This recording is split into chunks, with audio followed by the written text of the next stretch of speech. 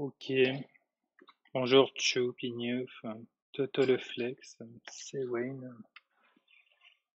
De bien beaux, euh, de pseudos. Bon, alors on est parti. Donc euh, on a commencé euh, la séance sur l'algorithme EM. Et a priori, je pense qu'on va faire les trois premiers exercices. Je, si je prends votre énoncé, a priori, je pense que ce qui est suggéré de faire. Alors, semaine 4. Semaine 4, semaine 4. Elle va être même, ok. Je rappelle sur la densité, donc on va faire exercice 22, 23, 24. 25 peut-être si on a le temps, mais euh, comme d'habitude, à mon avis, on manquera de temps. Donc, premier exo, c'est sur l'algorithme des cas moyennes.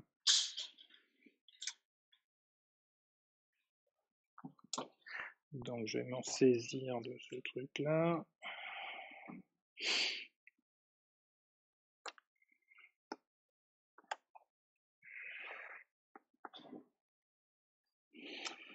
C'est parti, tac.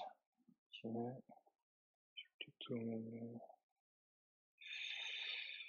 Setup qui prend trop plombs à mettre, va être mis en place.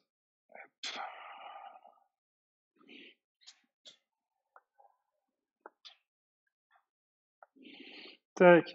Alors, premier exo, grève des cas moyennes. Donc, on vous réexplique comment ça fonctionne. Donc, euh, vous l'avez pas vu en, je pense pas qu'on vous l'ait rappelé en cours, mais vous l'avez vu l'an dernier en L3 sans doute. Donc, on vous redonne. Hein.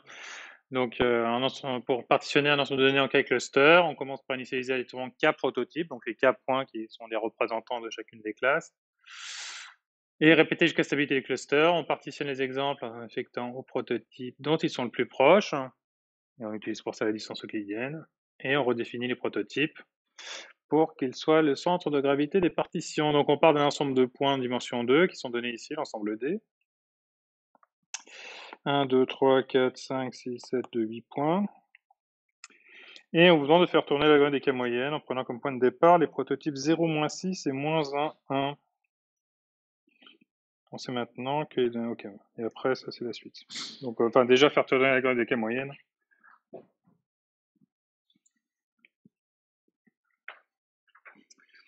On est porté. Intercopier la normale quand même. Ok, pour le voir plus tard.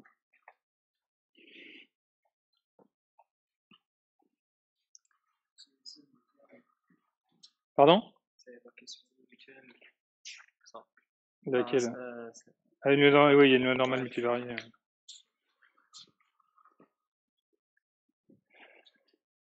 Mais pour l'instant, ça, on n'en est pas là. Alors, dans les chats, euh, ouais, on a dit bonjour. Donc, euh, à distance, vous pouvez faire ça aussi.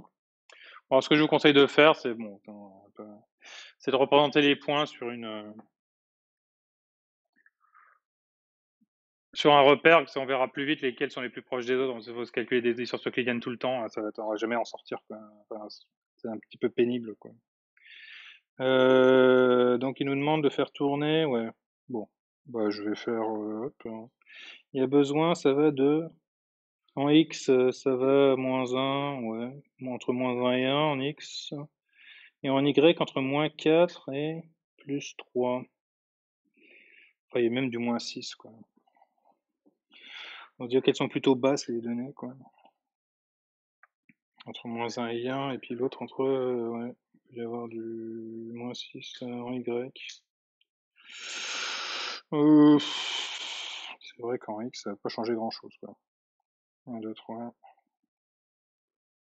Bon, on va se prendre tout ça. Quoi. Ça, c'est un axe comme ça. 1, 2, 3, 4. je pense que je vais mettre un axe comme ça. Alors, les points. 0, moins 4.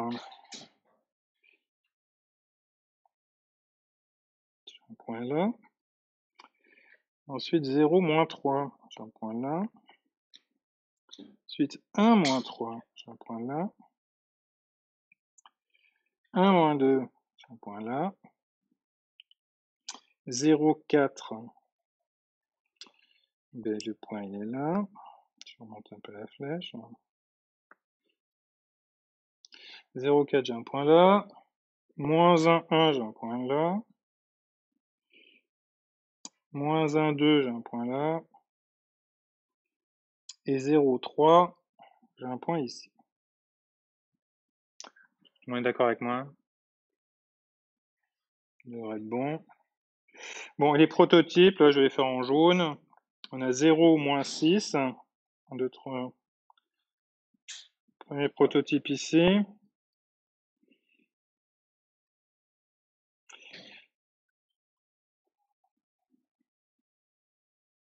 Je l'appelle P1.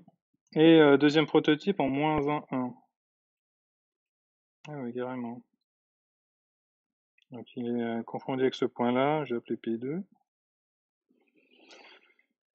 Hop. Donc c'est parti. On va commencer par faire quoi?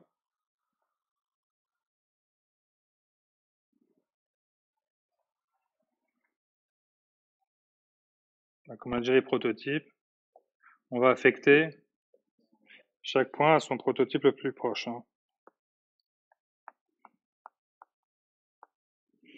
Affecter chaque point au prototype le plus proche. Bon, on va dire qu'on va faire ça Alors, au niveau de P2, bon, il y a des questions qui se posent, et en gros, c'est sur ces points-là. Hein. Donc, ce point-là, il est plus proche de lui ou plus proche de lui? Parce que ceux-là, c'est sûr, ces quatre points-là, c'est sûr qu'ils vont avec P2, quoi. Ce point-là.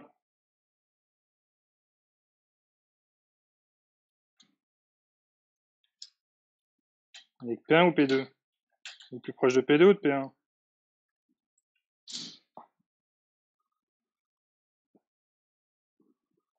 Ça se voit un peu à vue de nez. Hein. P2. Oui, je suis d'accord. Donc on aurait un premier ensemble, de, enfin une affectation comme ça, je dirais. Et donc l'autre, il a les autres. Quoi. Vous êtes d'accord avec ça ou pas?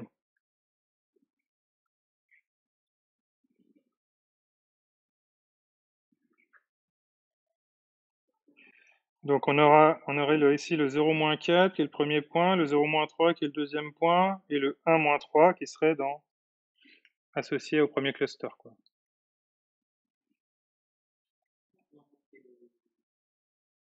Pourquoi on a pas pris quoi? De quoi? J'ai pas compris. On a fait quoi? P1 et P2, je les ai placés, ils sont dans, dans l'énoncé. Ouais.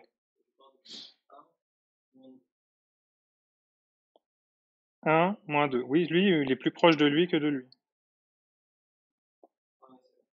C'est pour ça. C'est aussi bêtement comme ça. Donc, les clusters que j'ai. Bon, alors si on les rappelle, euh, je sais pas comment on les appellerait, les points, les points. Euh... 1, 2, 3, 4, 5, 6, 7, 8. Hein. Si je les nomme comme ça, les points. Hein. 1, 2, 3, 4, 5, 6, il y en a 8 là. Si ça, c'est mes 8 points. Donc maintenant, je me retrouve avec 1, 1, 2, 3 dans le premier cluster et 4, 5, 6, 7, 8 dans le deuxième cluster. Encore, vous vérifiez aisément que ces trois points-là, c'est les trois premiers de, les trois premiers de la liste. Hein. Donc maintenant, on recalcule les nouveaux prototypes.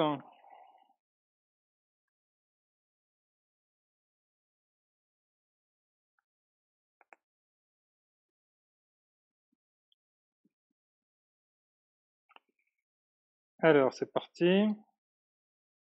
Alors, au niveau euh, pour P1, là, il va se déplacer où? Donc, il y a deux fois Là, c'est ces trois points, donc ils vont pencher à un tiers sur le, un tiers en X, hein, je dirais. Il y en a deux à 0 en X et un, un seul en 1 en X, donc il est, il est du côté un tiers en X.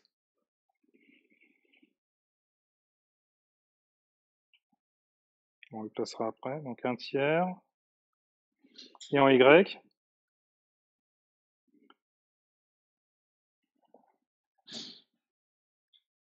j'en ai deux à moins 3 et un à moins 4. Donc c'est moins 3, 33 en Y.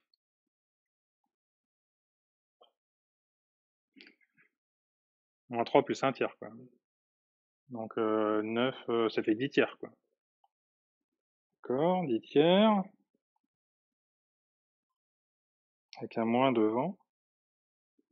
Moins 10 tiers. Donc ça c'est le premier prototype, je vais le placer. Hein. Donc la moyenne de ces trois points, c'est par là avec un tiers et tout ça. Quoi. Donc voilà. Mon P1 là il se déplace ici. Oui. Pardon?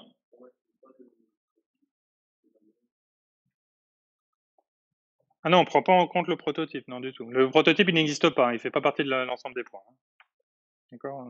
Donc il change. Donc notre nouveau prototype, il est là, c'est bon. Hein? Alors au niveau de P2, j'en ai deux là, deux là, un là. On va s'amuser quoi. Donc le truc va se trouver légèrement sur la gauche. Donc ça va faire moins 1, moins 2 plus 1 divisé par 5.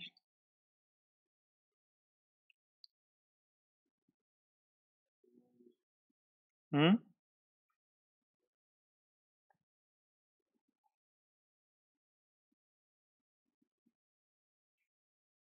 Donc on a que c'est moins 1 plus moins 1 plus 0 plus 0 plus 1. 1 sur 5.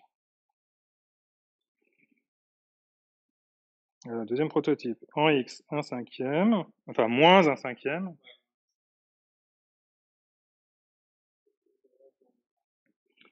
Et en y, on a 4 et 3, 7 et 2, 9 et un 10, 10 moins 2, 8, 8 sur 5.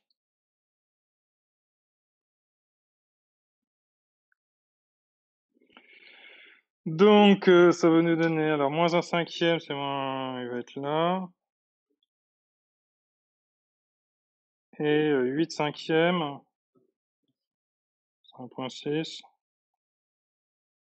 On va à peu près là, quoi. Hein, donc P2, hop, il s'est déplacé par là.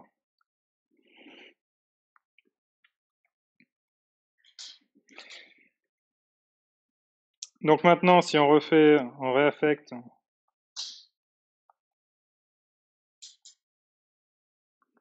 on refait une affectation, cette fois-ci, en violet, là, je vais avoir ces points-là autour de P2.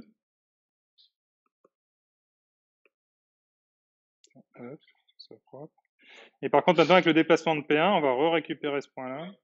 Voilà, qui sera là. Et donc, le point qu'on vient de récupérer, c'était le quatrième euh, dans la liste. Donc, c'était le point de coordonnées 1, moins 2. 1, moins 2, c'était bien le quatrième. Donc maintenant, premier cluster 1, 2, 3, 4. Deuxième cluster 5, 6, 7, 8. Voilà. Et euh, du coup, euh, croyez-moi. Merci Chopignouf pour ta réponse, c'était bien correct. Euh, vous recalculez nouveau prototype.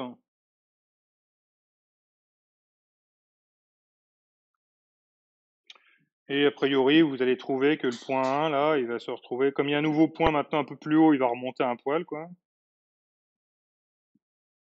Il va même se trouver exactement, du jaune, du violet, du vert. Je crois qu'il va se retrouver exactement là, le nouveau point. En vert, là. Donc ici. Voilà.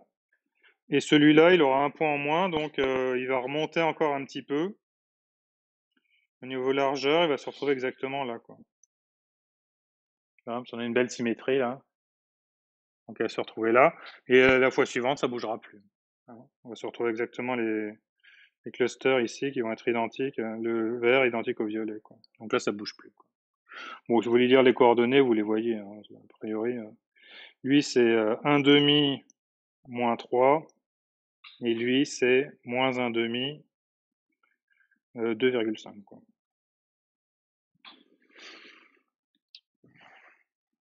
Et donc, du coup,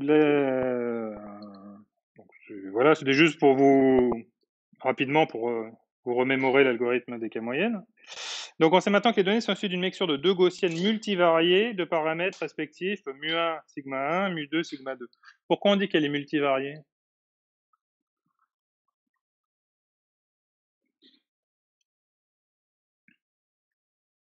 Dans le chat, pourquoi c'est multivarié?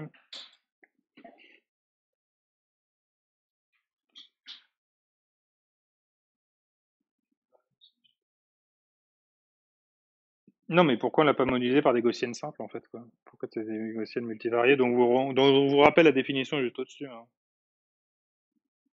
Laquelle il essaient des histoires de déterminants, des machins comme ça, quoi.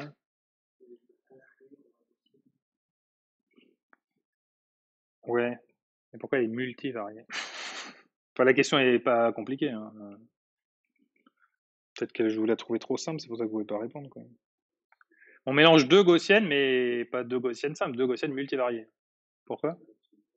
Oui, parce qu'on a x et y, on, est deux, on est en, deux, dimension 2.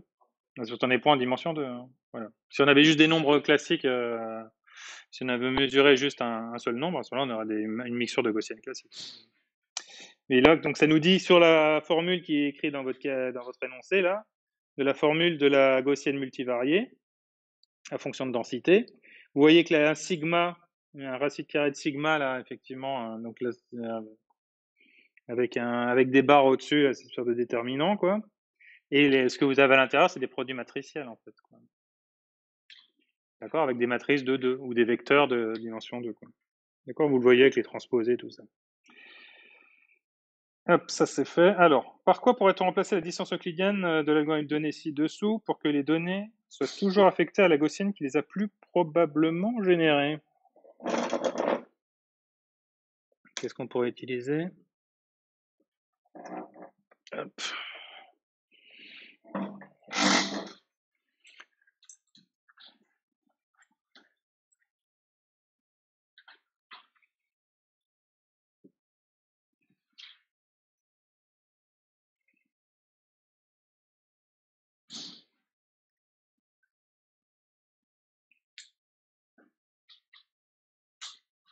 Distance de Manhattan.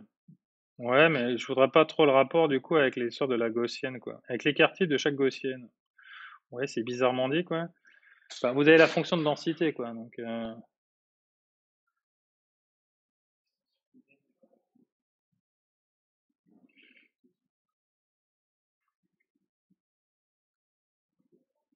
non, vous avez affecté par rapport à la probabilité qui était euh, que votre point il était généré par la première gaussienne pour avoir la deuxième gaussienne. Quoi.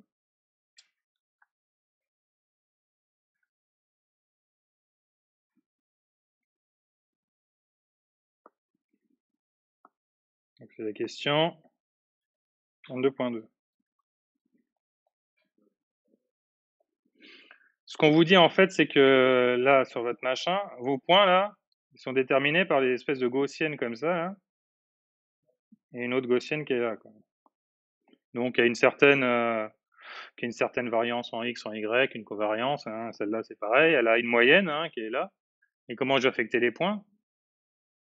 Bah, Celui est là, au niveau de la densité, là, qui est le plus vraisemblablement généré par celle-là ou par celle-là. Donc, ça va être selon, euh, selon la formule qu'on vous a filée, quoi.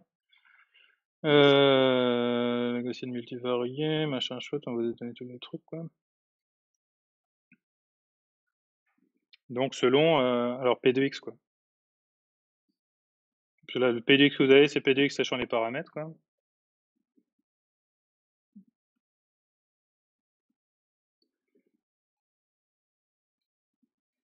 Donc selon P de X, avec les paramètres, hein, sachant euh, mu1 sigma 1, hein, c'est la première. Et vous avez aussi euh, P de X sachant mu2 sigma 2.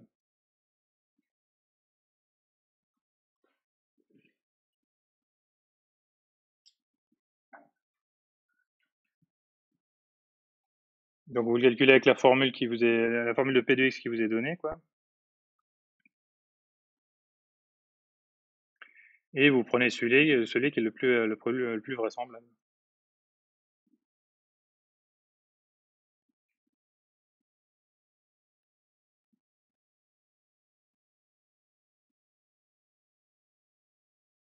Ça va ou pas? N euh, Un truc multivarié? Euh, C'est 2 là. Euh. C'est pas 2 parce qu'il y a deux prototypes, c'est 2 parce que c'est dimension 2. De quoi? Tu parles de sigma? Ah, Sigma, c'est une matrice de 2, oui. Sigma, bah, vous avez deux sigma. Sigma 1 pour la première et la deuxième. Et effectivement, vous avez les variances ici, là, et ici, vous avez les covariances.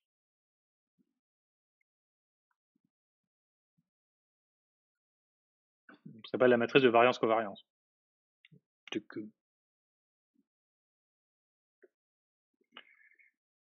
D'accord, donc ça va dans le chat aussi. Hein Sinon, vous m'interrompez.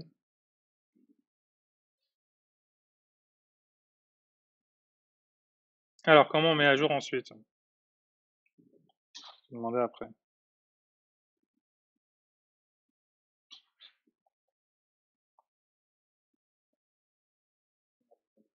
Formule euh, en. Ah, c'est la formule qui est en haut de l'exercice. Hein. Ouais. On recalcule Ouais, il faut recalculer à chaque fois, pour chacun des prototypes, son mu1 et son sigma 1, quoi. Si, mu1 sigma pour le prototype 1, mu2 sigma 2 pour le prototype 2. Donc, euh, ouais, c'est ça. Donc, comment, en quoi, euh, pourquoi c'était celle-là la question? 23.3. Euh, comment demander à jour? Ouais, des prototypes, quoi. Ah, ok. C'est pour ça. Et ensuite, euh, même que j'ai pas, j'ai infecté la gaussienne. Ah, ok. Et donc ensuite on recalcule la moyenne, bah, juste en reprenant les différents points en calculant leur moyenne, quoi, et on calcule leur écart type aussi de la même manière, avec la matrice que vous avez de variance covariance, quoi. Euh, hop. Alors, comment modifier? Oui, c'est ça, 22, 3. Je sais pas pourquoi j'ai un... Pourquoi je Truc. Pourquoi j'ai 23, 3 Mais c'est pour ça, en fait. C'est pour ça que ça déconne. J'ai un exec qui. Ouais, quelle différence avec le... Ça, c'est pas la bonne question. Elle a sorti un vieux truc. Quoi. Donc, je répète la question 23, 3. C'est pour ça que j'ai, c'est pour ça que j'ai bugué. Euh, comment modifier l'étape de mise à jour?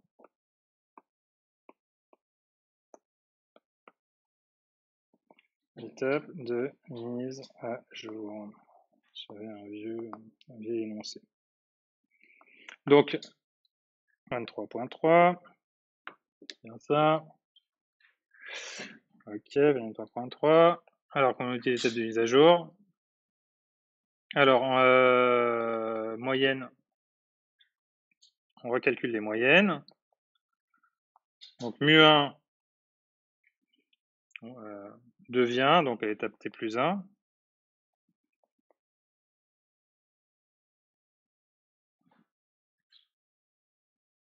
Donc pour toutes les données, i égale 1 à n des euh, éléments qui sont dans la classe 1 fois le vecteur x de la donnée i. Quoi. Je vais peut-être le mettre comme ça, le vecteur pour bien montrer que c'est un vecteur. Quoi. xi sur la somme des y et y. y1 égale 1. Donc tous ceux qui sont étiquetés euh, comme faisant appartenir à la première, on, en fait la moyenne. Et euh, le sigma, pareil, sigma t plus 1, 1. Donc pour la première, priori pour la première gaussienne, on va faire pareil, la moyenne des variances. Moyenne des variances, donc somme toujours Pour ceux, euh, c'est des Y. Pour ceux qui sont étiquetés à 1, sinon. Alors, i, c'est la fonction indicatrice. hein. Ça vaut 0 s'il faut. hein. Et 1 si vrai. D'accord? Donc, pour tous ceux, pour toutes les, toutes les données i qui sont étiquetées, qui sont étiquetées avec euh, la classe 1, et après on fera la même chose avec la classe 2. Oui, as une question? I, c'est les- tous les éléments qu'on a, c'est les points. 1, 2, 3, 4, 5, 7, 8. Et YI, c'est son affectation, soit c'est 1, soit c'est 2. Soit dans la classe 1, soit dans la classe 2. J'entends pas ce que tu dis. On peut articuler. Non, mais enlève pas ton masque, essaye de gueuler plus fort, quoi. Exactement, oui, c'est bien. Exactement. Tout à fait, c'est correct. Et donc, on va faire la moyenne de ces euh, deux machins, quoi, au carré. Donc, les écarts au carré des trucs, quoi. Donc, on a xi moins mui. Pas de mu 1, a priori. Voilà, fois xi moins 1 aussi, quoi, en transposé. C'est juste pour le mettre au carré, quoi. Et toujours en normalisant par la somme des i de yi égale 1. Donc pour toutes les données qui vont de 1 à n. Quoi. D'accord Bon, je fais la moyenne des, des écarts au carré à la moyenne. C'est juste écrit comme ça de manière matricielle. Quoi. Donc là, vous avez une matrice 2, 2 du coup.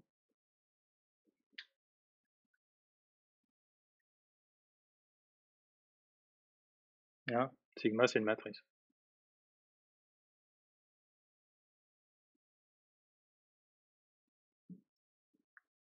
Donc ça, c'est des vecteurs de 2, ça Enfin, 2 sur 1, quoi. Quand vous les multipliez ensemble, c'est une matrice de 2, quoi.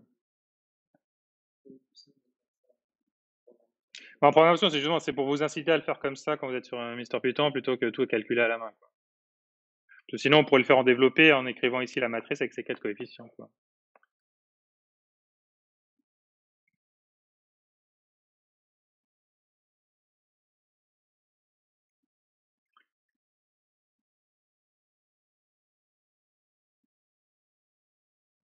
Alors, je sais pas si le chat est encore là, hein, parce qu'il dit plus rien. J'espère qu'on vous a pas tous perdus.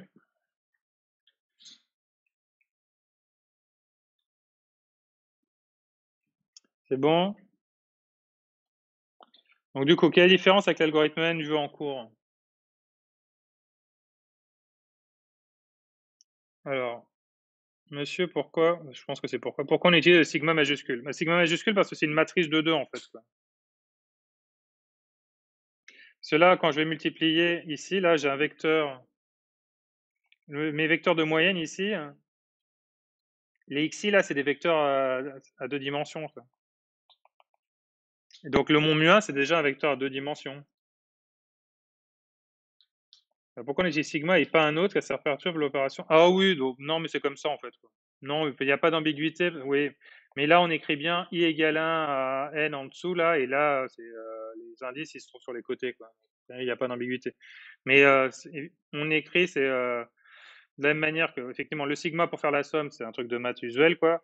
Et en stat, c'est usuel d'écrire le sigma majuscule pour quand on a une matrice de variance covariance, on a aussi coutume de l'appeler sigma. Hein. Mais ça se voit tout de suite que c'est pas le même. Hein. D'accord Là, on voit bien que c'est pas une somme. Hein. On n'a pas écrit, il n'y a pas de variable qui se, balade. D'accord? Donc, oui, bah, tu peux bah, essayer de ne pas confondre, parce que c'est pas la même chose. Alors, quelle est la différence avec EM EM, c'est pareil, on a une étape où on estime des probabilités d'appartenance à certaines classes. Quand on a un problème de classification, dans EM, on va calculer des probabilités d'appartenance à certaines classes. C'est quoi la différence ici «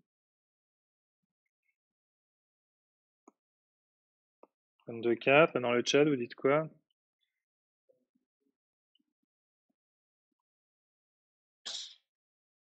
Là, ça ressemble à du EM. Hein. Je calcule les, euh, pour savoir à quelle euh, gaussienne il appartient, je calcule les probabilités d'appartenance à la gaussienne. Quoi. Autrement dit, la probabilité que la gaussienne ait généré l'exemple que je suis en train de considérer.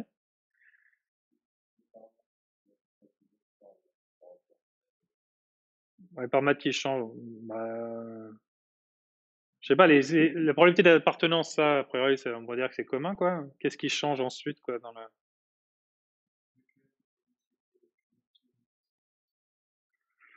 On réinitialise avec le maximum de vraisemblance. On réinitialise, quoi?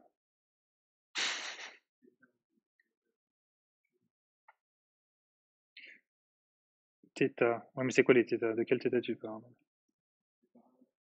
Ceux-là, là, eux? Bon, et eux Alors, si on avait fait un EM, on n'aurait pas fait comme ça, on aurait fait comment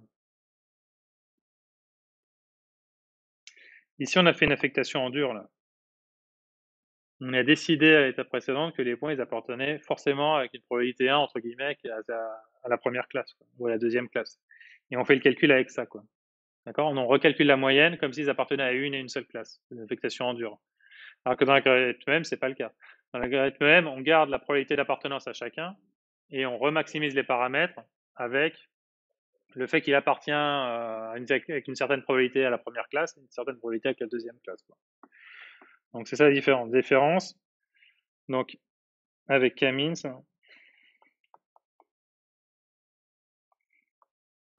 affectation en dur. Et c'est pas le cas en M. Et du coup, on, a, on peut avoir un risque de tomber plus facilement dans un minimum local. En gros, l'algo risque de bloquer plus rapidement.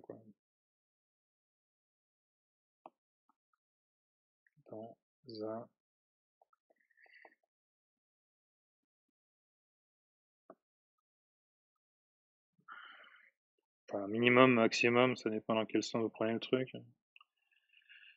On va dire un extrêmum local.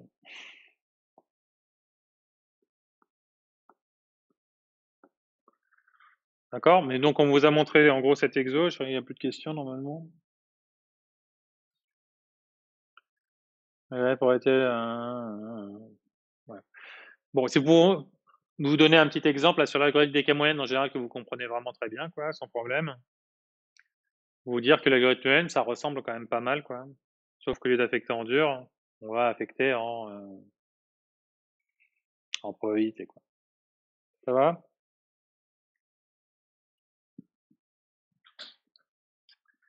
Dans le chat, ça va aussi. Tac, mixture de gaussienne.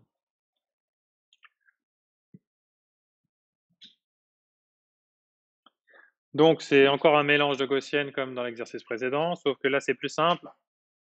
Elles ne sont pas multivariées, puisqu'on a juste des, euh, des prix. Alors, les prix fonciers d'un quartier suivent une mixture de deux gaussiennes, de paramètres respectifs, euh, moyenne mu1, variance sigma au carré, et mu2 sigma 2 carré. Et donc, le tableau ci-dessous donne les prix en 100 000 euros, les transactions immobilières, 800 000 euros, 100 000 euros, 400 000 euros, 3 000 euros, 300 000 euros, etc. Donc ça, c'est les différentes ventes d'appartements. On appellera pi1 et pi2 les coefficients des deux gaussiennes dans la mixture. Formaliser le problème d'optimisation des paramètres pi1, pi2, mu1, sigma au carré, mu2 au carré, sigma 2 carré. Parti.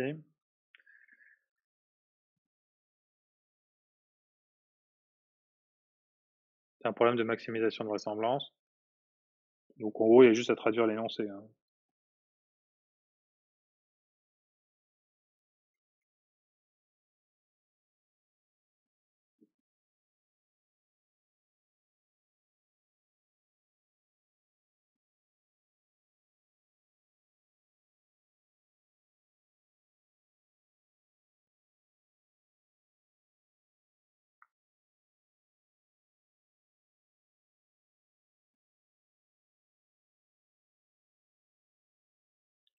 On a combien d'exemples 1, 2, 3, 4, 5, 6, 7, 8, 9, 10.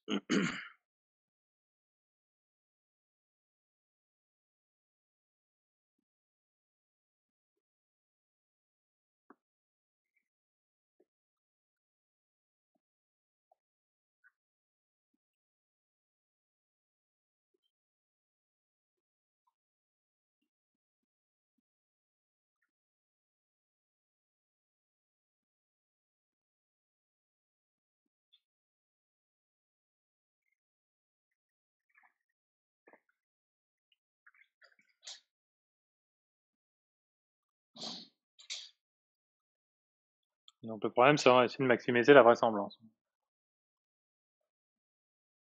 Comme la semaine dernière, depuis qu'il a écrit ce que c'est que la vraisemblance.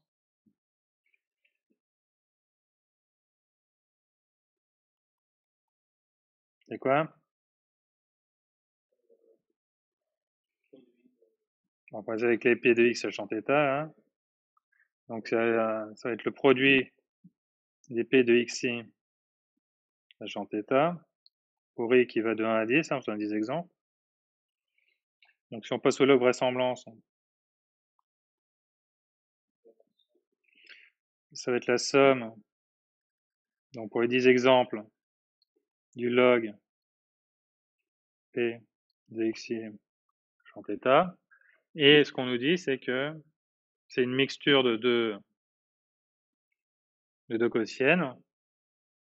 Donc on va remplacer De xi sachant θ, sachant que c'est une mixture de deux gaussiennes. Donc ça va être somme pour k égale 1 à 2.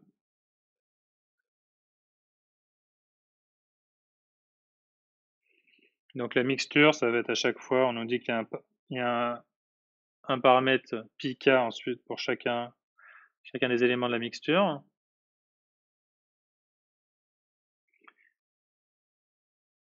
Et la probabilité du xi, sachant les deux paramètres mu k et sigma k.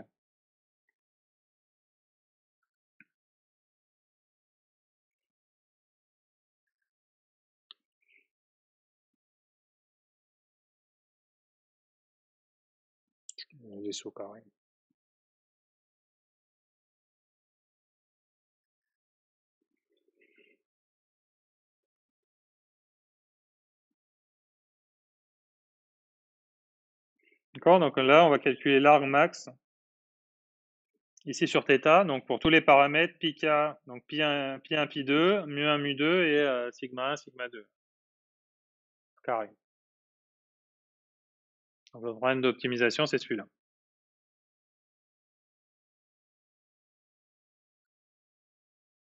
Ça va? Bon alors, on nous demande comme question après. Donc, pour le problème d'optimisation, voilà. Pourquoi ce problème est difficile à résoudre? Quelles informations supplémentaires pourraient nous aider à résoudre le problème beaucoup plus simplement? C'est ce qui est écrit ici. Alors, pourquoi c'est compliqué de maximiser cette quantité-là? Et...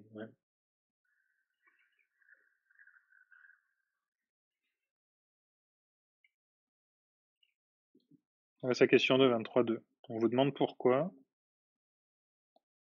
Pourquoi c'est difficile d'optimiser ce truc-là?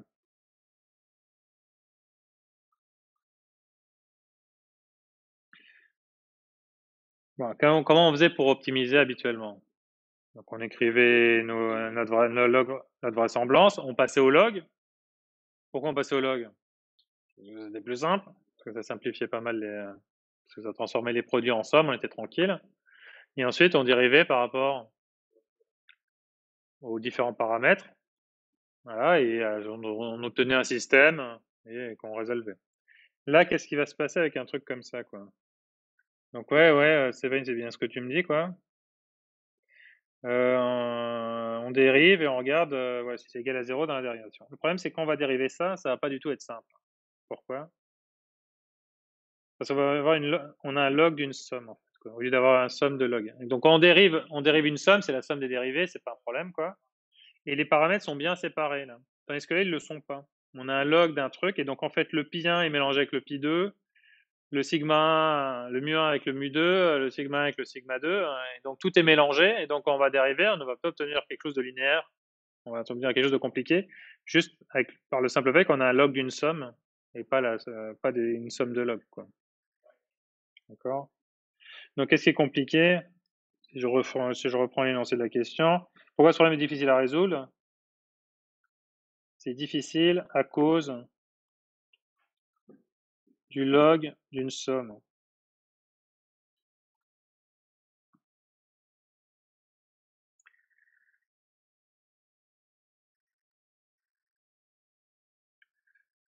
Alors, quelles informations supplémentaires pourraient nous aider à résoudre le problème plus simplement?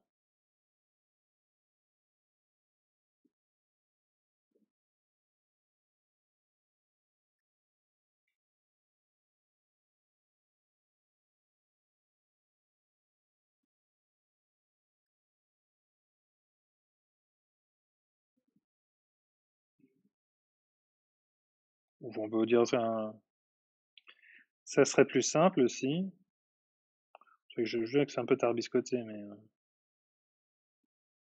si on se rappelle de l'exercice précédent, qui lui était simple,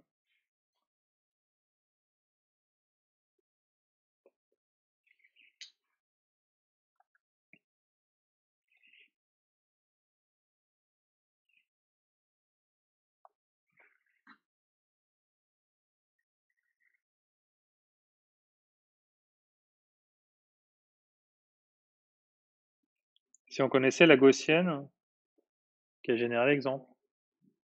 Hmm? Oui, donc la classe à laquelle appartient chaque exemple. Si on connaissait la gaussienne.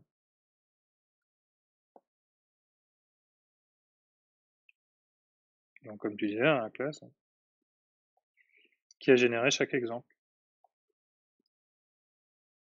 Ce que j'avais écrit la dernière tout à l'heure avec les, euh, la, la, fonction i qui me disait où c'était générer chaque exemple.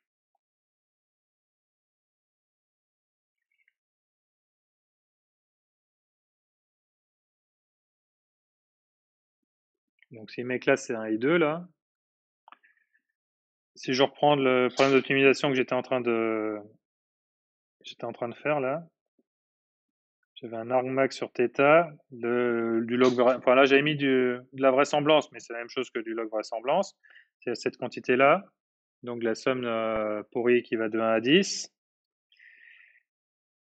Et là, dans cette somme-là, quoi, si je sais à quoi il appartient, là, je vais pouvoir je vais rajouter ici dans le produit le, un, facteur qui vaut 1 quand on est dans la bonne classe et qui vaut 0 dans l'autre. C'est-à-dire que dans cette somme, je ne retiens qu'un seul des deux termes. Donc on aura juste la probabilité d'appartenance. Donc je vais le recopier, somme de i égale 1 à 10, euh, du log.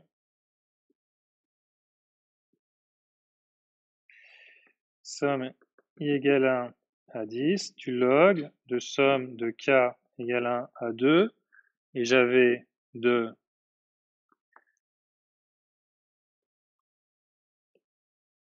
j'avais de pi k Ensuite, probabilité de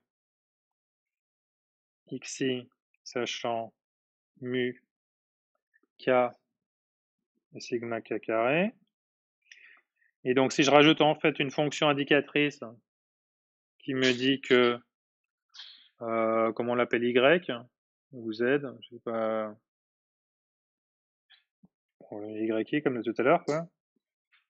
Si y égale k, donc il vaut 1 si y c'est la classe K, ou, enfin la classe 1 ou la classe 2, hein, selon le cas. Donc on retient qu'un seul terme parmi cette somme.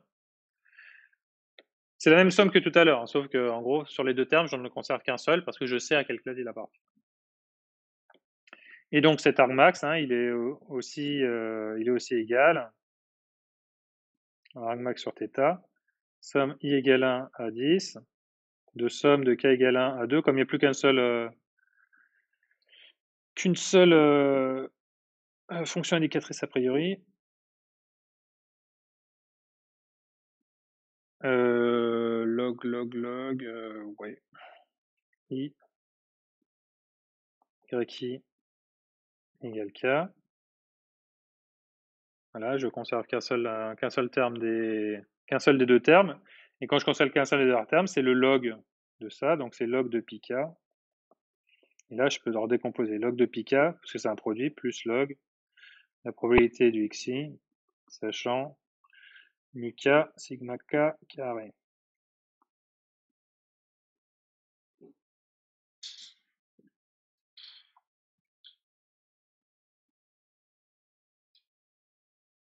Du coup, là, c'est juste une écriture euh, Là, on sert juste du i là pour euh, continuer d'écrire ça avec des sigma pour, que ça soit un peu général. Hein. Mais en réalité, il faut vous dire que ça, il n'y a pas de somme là. Hein. Il n'y a toujours qu'un seul élément dedans. Et comme il n'y a plus qu'un seul élément maintenant, je peux le décomposer, le produit des logs en somme des, le produit du log du produit en somme des logs.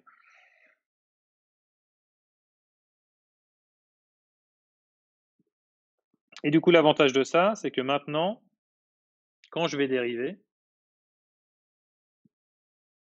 eh ben, je vais euh, dériver par rapport à Pika, par exemple, ou par rapport à, à Muka. En fait, je vais avoir deux problèmes indépendants. C'est-à-dire que je vais jamais avoir de mélange de mu1 avec un mu2. Quand je vais dériver par rapport à mu1, tous les termes en mu2, ils c'est des constantes, donc ils vont disparaître dans la dérivée partielle.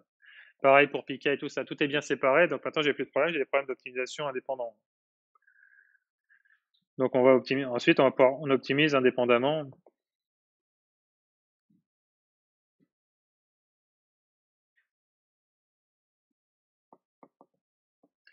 Il y a deux problèmes distincts. Et ça, c'est beaucoup plus simple.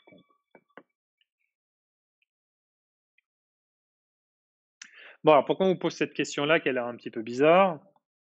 Je ne sais pas si dans le chat vous suivez encore. Donc c'est pour se dire, si jamais on avait cette connaissance de l'appartenance à une des deux classes, le problème c'est plus simple, on dériverait les machins, ça serait, le problème serait terminé. La somme des logs se retransformerait en log de la somme. Non, le log de la somme se retransformerait en somme des logs et là on serait bon. On n'aurait pas de problème. Mais ça, c'est juste pourquoi on vous dit ça, c'est juste pour introduire la question suivante. En quoi l'algorithme peut nous aider à résoudre le problème? Quelles étapes avons-nous besoin pour le mettre en œuvre? Donc, c'est quoi le principe de l'algorithme M C'est qu'on va introduire des variables cachées. en général, les variables cachées qu'on introduit, c'est bah, celles qui nous arrangent pour simplifier notre problème. Et qu'est-ce, que nous qu'est-ce, qui nous arrange? Ben, On vient de le voir à l'instant. Ce qui nous arrange, c'est introduire une variable qui nous dit L'appartenance à une classe. Hein. Alors, c'est la question 23.3.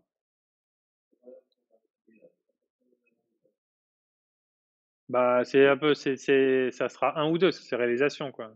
Elle appartient à la classe 1 ou à la classe 2. Donc, c'est une variable euh, qui peut valoir 1 ou 2, suivant la classe dans laquelle il est, quoi. Et il y aura une certaine probabilité qu'elle appartienne à la classe 1 à la classe 2. Non, mais dans ce cas-là, dans un problème de classif ici, c'est le cas, quoi on va introduire comme variable cachée l'appartenance à la classe. Et comme là, c'est un problème de classification biclasse, ça sera pas 0 et 1, c'est 1 et 2, la classe 1 ou la classe 2. Parce que je les ai appelés comme ça, on aurait pu les appeler la classe A et la classe B, et donc la variable cachée, elle aurait deux modalités, A et B. Ça va? Donc on introduit une variable cachée.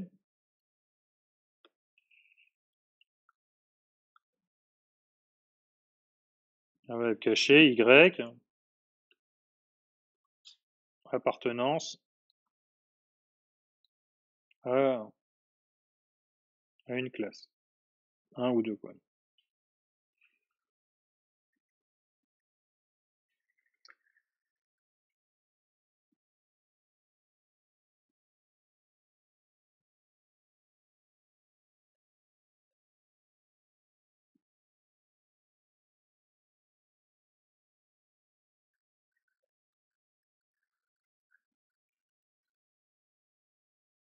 Alors, après votre cours, là, on est sorti dans l'algorithme M.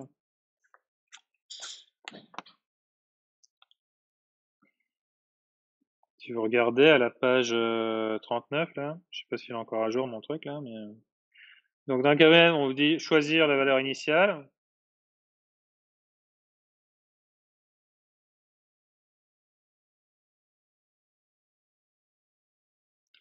Donc, euh, grand θ là,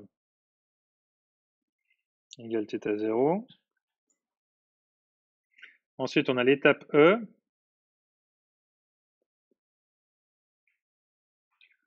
Donc, on va dire qu'on va calculer des QI T plus 1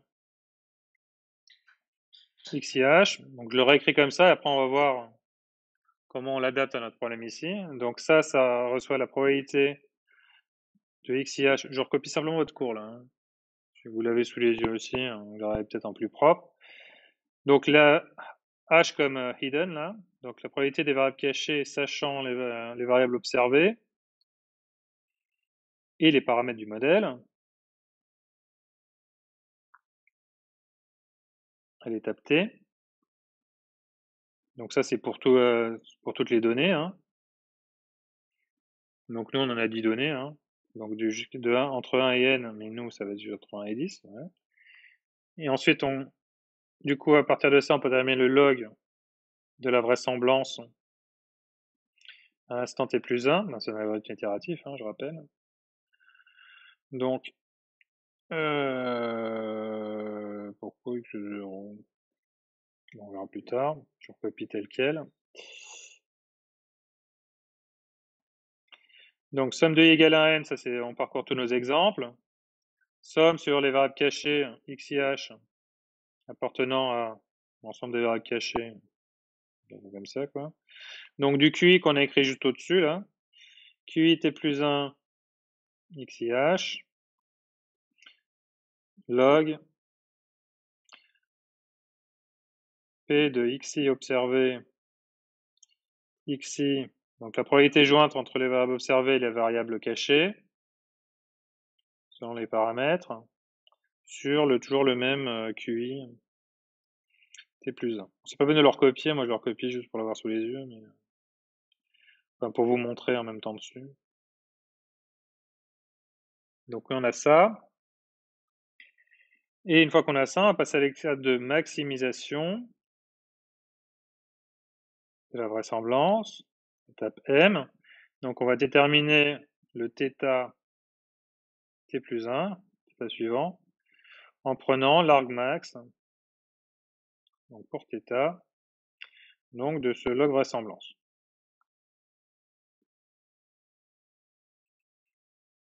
Je sais pas pourquoi il est en 0, quoi. Ah, c'est pas un 0, c'est observé. Je suis bête. X observé. Si on dirait un 0. Sur les paramètres.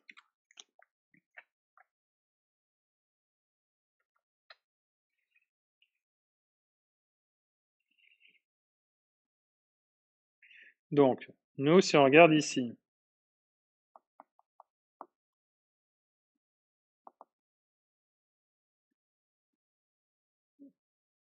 Bah, nos paramètres, ils s'appellent, a priori, nos paramètres, s'appellent θ minuscule, là. Donc, nos paramètres à l'étape t plus 1, ça va être l'argmax. Donc, sur θ. Donc, du log, vrai, du log vraisemblance. Donc, le log vraisemblance, on a, euh, a priori, une euh, somme. Il ne sort pas tous les trucs. Donc on a la somme sur tous les exemples, i égale 1 à 10. Donc de la somme pour chacune des classes. t égale 1 à 2, hein, parce y en a, deux variables cachées. Hein.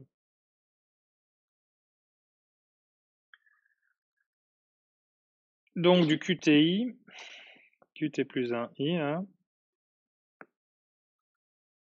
de K, c'est ma variable cachée fois le log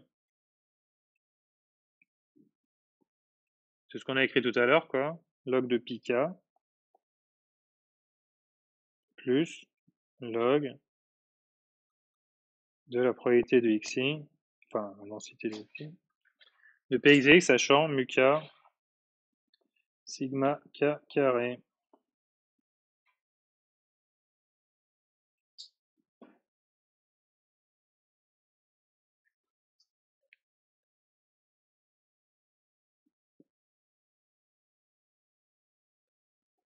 On se fiche un peu des logs qui sont là parce que c'est. Euh,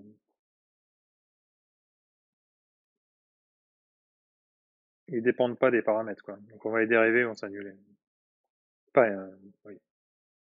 Parce que là, euh, si je fais moins le QI et tout ça, quoi, c'est le, Une fois qu'ils sont estimés, ceux-là, ils sont, ils ne bougent plus, quoi.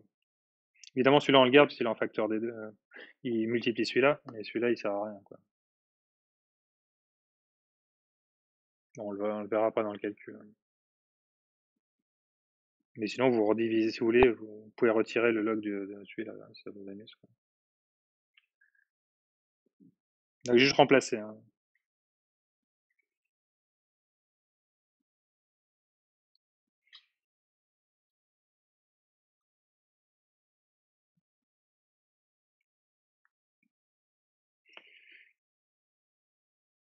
Et je pourrais rajouter, si j'arrive la place d'écrire, que les QI avec l'estimation donc euh, pour les oui, pour l'étape E du QIT plus 1 de K qui va être la probabilité d'avoir la variable K.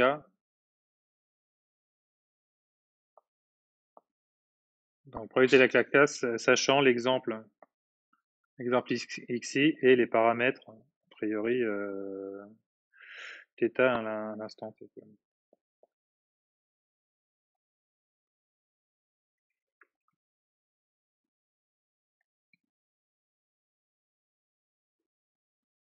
Donc c'est le même problème d'affectation que dans le problème des cas moyennes, sauf que vous avez une affectation qui est soft. Au lieu de dire qu'elle appartient en dur à telle classe ou à telle classe, vous dites qu'elle appartient à la classe 1 selon la probabilité d'être dans la classe 1, en sachant l'exemple que vous êtes en train d'observer et les paramètres que vous avez estimés à l'étape précédente de, maximisation. Et euh, probabilité euh, d'être dans la classe 2, hein, sachant l'exemple que vous regardez, et euh, les paramètres précédents. D'accord? Donc les étapes, les étapes E, vous calculez les probas en maintenant les paramètres fixes. Étape M, vous changez, vous remaximisez les paramètres θ pour euh, qui maximise la vraisemblance. Une fois que vous avez ça, vous recommencez. Vous regardez ensuite pour chaque exemple à quelle classe il a, quelle probabilité il appartient à quelle, quelle classe, et puis vous recommencez encore une fois. Euh, vous remaximisez les paramètres hein, jusqu'à ce que ça converge. Ça va? Euh, ça nage C'est bon? Bon, l'étape, E, ça revient à calculer le, QI et la vraisemblance, mais en réalité, la vraisemblance, on va le voir plus tard. Il faut calculer euh, ce, qui s'appelle la quantité QI T plus 1, hein, qui est en fait ici la probabilité d'avoir la variable probabilité des variables cachées, sachant euh, les variables observées et les paramètres du modèle. Donc ici, dans notre exemple ici, nous, les paramètres, les variables cachées, c'est euh, les appartenances aux classes, soit la classe 1, soit la classe 2. Donc on estime ces, probabilités d'appartenance hein, à la classe 1 hein, pour chaque exemple, d'appartenance à la classe 2 pour chaque exemple, et vraiment compte tenu des paramètres qu'on a à cet instant-là. Une fois qu'on a ces probabilités-là, on peut les réinjecter dans la formule de la vraisemblance. Et à ce moment-là, on va essayer de maximiser la vraisemblance, le log vraisemblance. Pour, comment on va faire? Ben, on, va, on, va, dériver par rapport aux paramètres qui sont pi1, pi2, mu1, mu2, sigma 1, sigma 2. Et on va retrouver des, nouvelles valeurs pour ces paramètres-là. Une fois que j'ai des nouvelles valeurs pour ces paramètres-là, je les réinjecte ici dans cette, euh, dans cette proba-là, et je peux redécider à, quelle classe ils appartiennent, à quelle probabilité ils appartiennent à chacune des classes. Puisque ce PK ici, là, hein, il va avoir à peu près la même forme que ça. Quoi. On va le voir après. Quoi. Enfin, sur le log. Hein.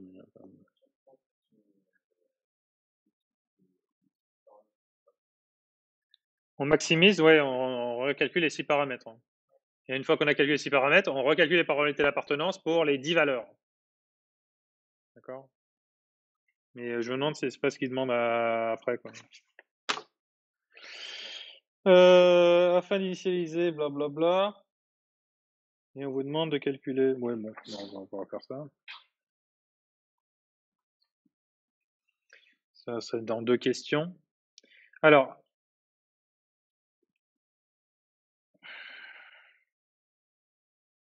Du coup, je l'ai écrit là.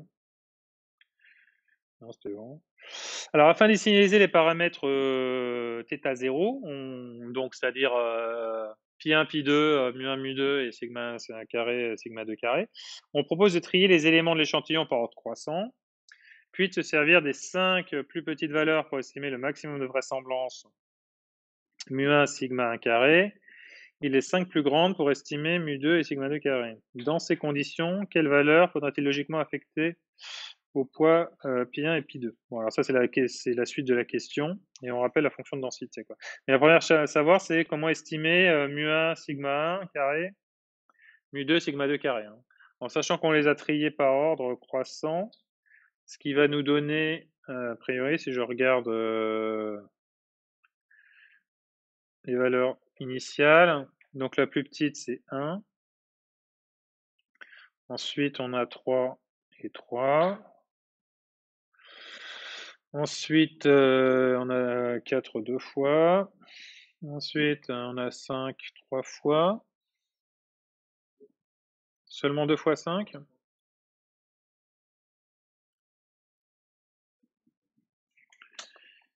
Un, non, non, il est 3 fois le 5. Ouais, ok. 5, le 5 est 3 fois. Ensuite, on a un 7 et un 8. Après, on est bon. Donc, on a trié comme ça, on nous dit alors, on va servir les 5 premières pour le max de vraisemblance euh, de la première. Donc, hop, tout ça, et les 5 suivantes pour le max de vraisemblance de la deuxième. Bon, bah ça, vous savez faire.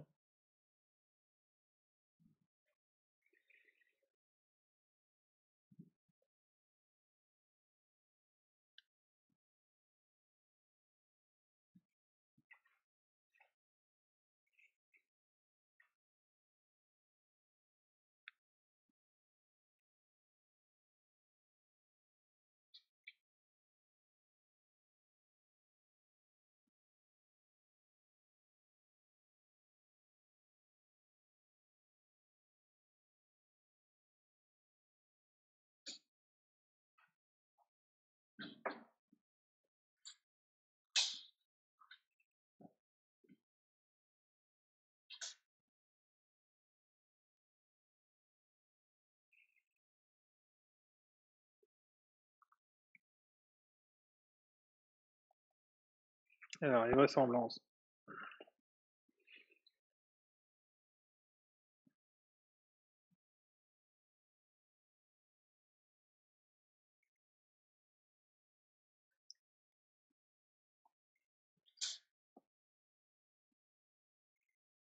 Donc ça, c'est pour un exemple X. Vous pouvez calculer là sur chacun des exemples. Alors, on va considérer les cinq premiers exemples ici. Là. Vous pouvez calculer pour cinq premiers exemples. Vous en faites là. vous en faites le produit. Vous passez au log pour avoir la vraisemblance. Vous, avez, vous allez avoir la somme pour les cinq premières valeurs des logs de ce machin-là. Vous l'écrivez. Donc ça, c'est pour la première gaussienne, donc c'est avec des sigma 1 et des mu1. Vous dérivez par rapport à chacun des paramètres hein, et vous allez obtenir les formules qui nous permettent de déterminer mu1 et, euh, et sigma 1 et puis vous refaites la même chose pour la deuxième gaussienne. Quoi. C'est équivalent. Hmm? Oui, oui, là on vous dit initialement, afin d'initier les paramètres, on propose d'écrire les éléments en disant qu'il y a le maximum de vraisemblance pour les cinq premiers points, les cinq plus euh, petites valeurs, et un autre maximum de vraisemblance pour, euh, pour les cinq plus grandes valeurs.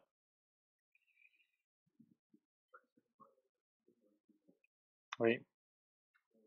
Pour les cinq premières valeurs, on maximise la vraisemblance de la première gaussienne, et pour les cinq valeurs de la fin, on maximise la vraisemblance pour la deuxième gaussienne. Mais c'est juste pour initialiser ça, c'est tout. Hein. C'est pas encore l'algorithme même, ça. Bah, du coup, au total, il y a deux vraisemblances. Il y a une vraisemblance pour la première, pour les données issues de la première gaussienne, les cinq premières, sachant qu'elles sont issues de la première gaussienne, et puis il y a une autre vraisemblance à calculer pour la deuxième. 4 bah, ça fait un peu. Pourquoi il y en aurait 4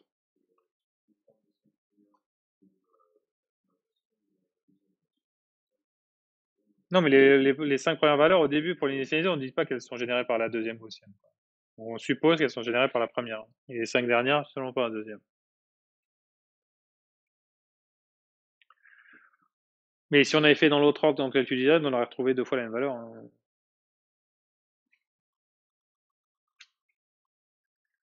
Puisqu'on aurait eu les mêmes données avec une même forme de gaussienne, avec un même modèle. Hein. donc on aurait retrouvé exactement les mêmes paramètres. Alors, je passe dans les rangs. Alors, il égale à 5, ouais, de tous ces machins-là, on passe au log. Et euh, regarde ce que ça donne. J'ai tout calculé Ah, t'as fait directement là Elle est où ta question 4 Oui, ça c'est ça. Sur, sur le cahier, je le vois, mais surtout ici, là, tu es en train de le.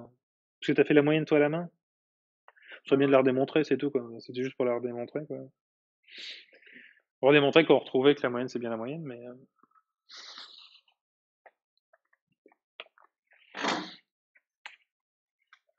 juste à titre d'exercice, quoi.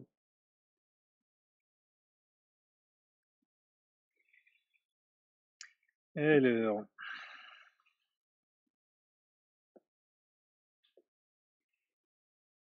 Je vais juste passer au log tout de suite sur F, euh, sur, F ici, quoi. Donc 1 sur racine carrée, log de ça.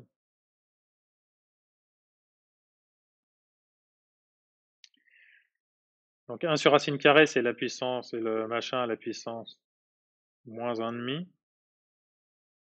Donc on va avoir du moins 1,5 log de 2pi sigma carré, mais log de 2pi sigma carré, c'est log de 2pi d'une part, euh, plus euh, log de sigma carré d'autre part.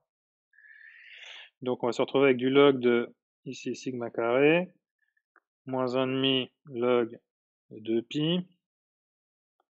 Donc ça c'était pour le facteur devant l'exponentielle. Et après on a log de l'exponentielle. Bah, log de l'exponentielle, bah, c'est l'argument de l'exponentielle. Moins 1,5, dans l'exponentielle, il y a x moins mu sur sigma. x moins mu sur sigma au carré.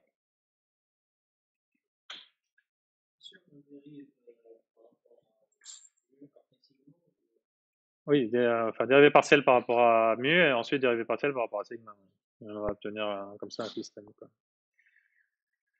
Euh, déjà dérivé par mu, il restera plus que du mu, hein, donc on n'aura plus qu'à calculer ça. Quoi. Donc du coup, la vraisemblance, c'est la somme de tous ces machins-là.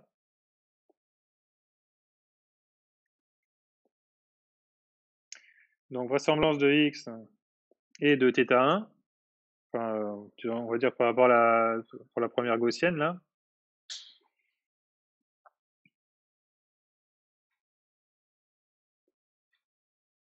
On peut m'écrire ça avec des gros pâtés.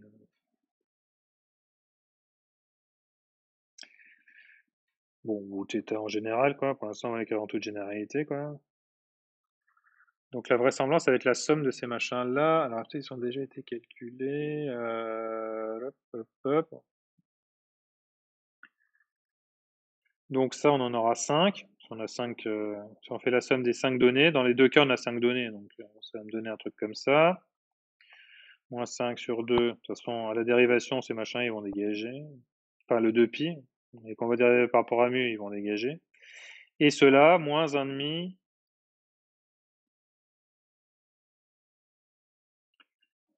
Et sigma carré, on peut le mettre aussi en facteur. Et là, on va faire la somme pour les 5 données que j'ai, quoi, de i égale 1 à 5 dxi moins mu au carré. D'accord? Donc maintenant, on va pouvoir appliquer ça après le faire la dérivation et euh, on va trouver ce que ça donne. Donc, bon, L, c'est la log vraisemblance. Hein. Je vais réécrire un log ici. Log. Donc, dérivé de la log vraisemblance x θ, on va commencer par dériver par rapport à mu. Dérivé par rapport à mu, ça, ça dépend pas de mu. Ça, ça dépend pas de mu non plus. C'est un pi, ça. Et ça, ça dépend de mu. Alors, donc on va obtenir en facteur, on va, garder le 1 sur 2 sigma carré.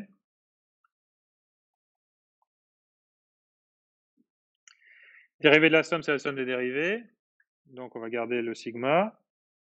Sigma i égale 1 à 5 a priori. Je dérive par rapport à mu. Donc, c'est la dérivée de u carré. C'est 2 u prime u. Alors c'est quoi u prime? Dérivée de ça par rapport à mu. c'est moins 1.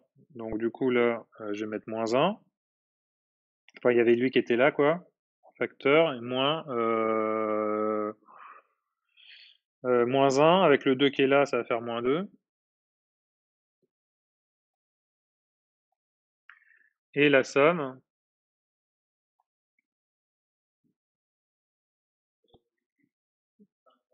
d'xi moins mu.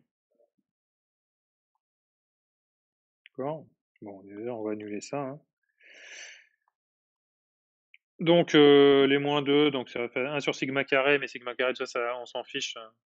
A priori, euh, ça ne change pas la nullité du truc.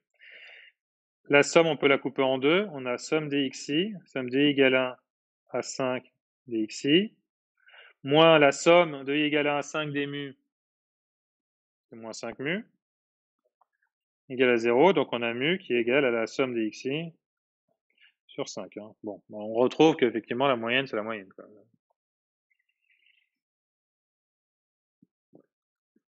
Ça va, le chat il parle pas beaucoup. Je pense que j'ai on a déjà largué tout le monde. C'est pas facile. Pourtant, il y a 13 personnes qui suivent. Pas beaucoup qui s'expriment. Bon, alors on fait la même chose avec sigma. On fait des bonnes, des bonnes révisions. Dérivé de log de la vraisemblance sur des sigma. Alors, on va dériver par rapport à sigma carré. Alors, attention. Hein.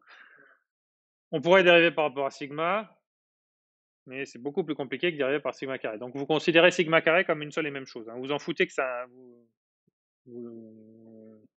qu'il y a un carré ici, vous le considérez pas pour faire les dérivations. Hein. Vous considérez que la variable, elle s'appelle sigma carré. D'accord? Et donc, on est parti. Donc, pour dériver par rapport à sigma carré, donc lui, ça dépend de sigma carré, lui, non, lui, non. Donc, il n'y a que lui. Donc on a le moins 5 2000, il ne va pas bouger du tout. Et dérivé d'un log, dérivé de log de x, c'est 1 sur x. Donc là, ça va faire 1 sur sigma carré.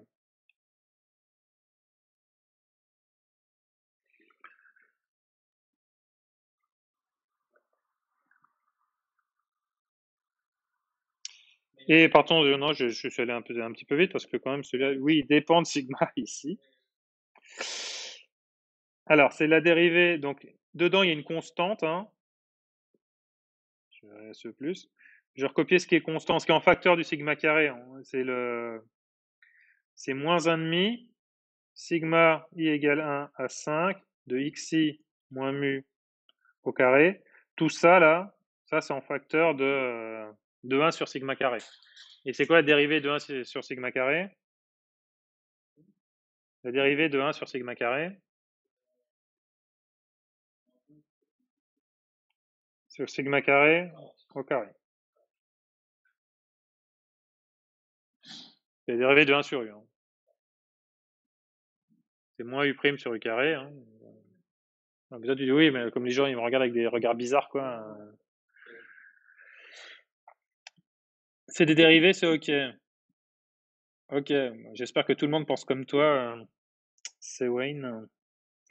Du coup, qu'est-ce qu'il nous reste? On veut que ça soit égal à 0. Bon. Eh bien, on va vouloir que ça soit égal à 0. Alors, on va avoir du sigma 4 ici. Est-ce qu'on va, on va se débarrasser de un petit peu des... Bon, on va se débarrasser des moins, là. Je veux me débarrasser de ces deux moins là. Et puis du sigma carré, on en a là, on en a là aussi. On va en garder un seul ici. D'accord? Donc là, il va nous rester. Du 2, on peut s'en débarrasser là aussi. Donc, étant donné tout ça, là, il va me rester du 5. Un sur sigma carré, va se simplifier. Il reste un moins quand même. Le demi, il a dégagé. i égale 1 à 5 de xi moins mu au carré. Et il va rester fois 1 sur sigma carré.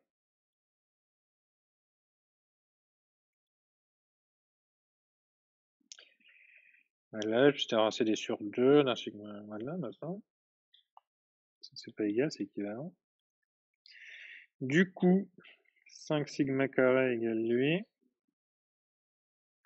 Donc ça fait sigma carré égale.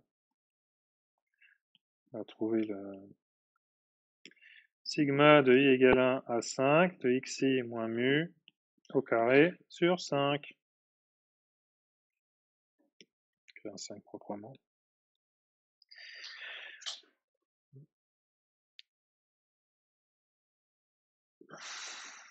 Donc, euh, la moyenne des, écarts à la moyenne au carré, ce qui est pas étonnant. Et donc, euh, on peut calculer tout ça. Toi, tu les as calculés, il me semble hein Non? Tu as les mu. Tu as trouvé mu égal. Mu 1, c'est 4,2. C'est 4 plus 1 cinquième. 120. 4 plus 1 cinquième.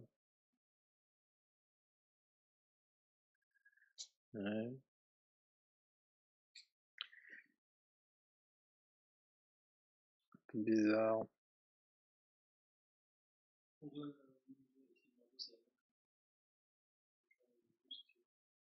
Hmm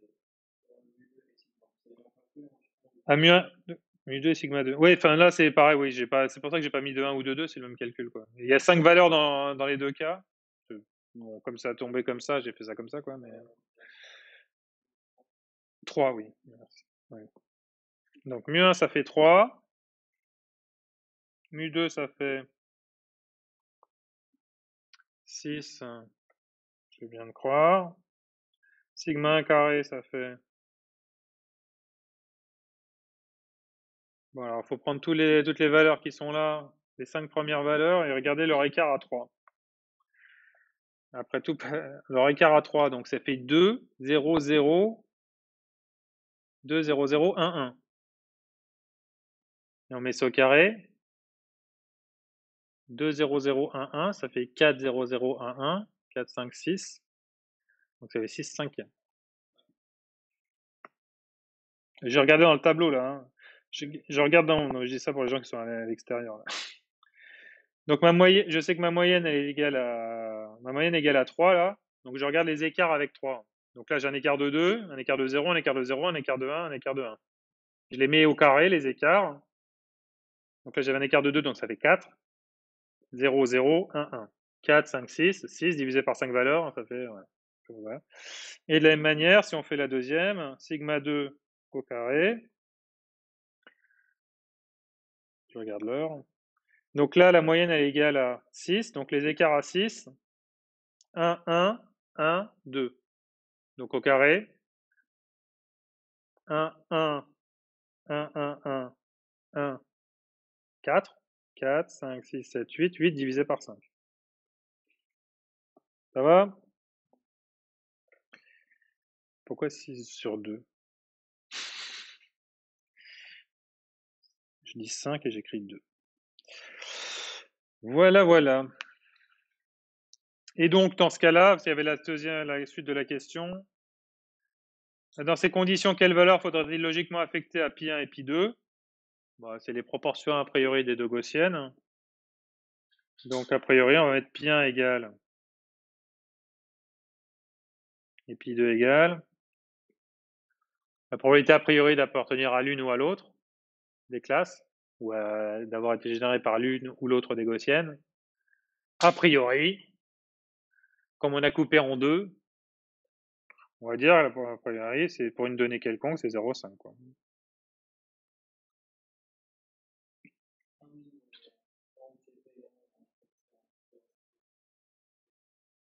C'est initialement ça, c'est juste pour initialiser le truc. Si on n'a pas d'information, a priori, on va dire que on prend.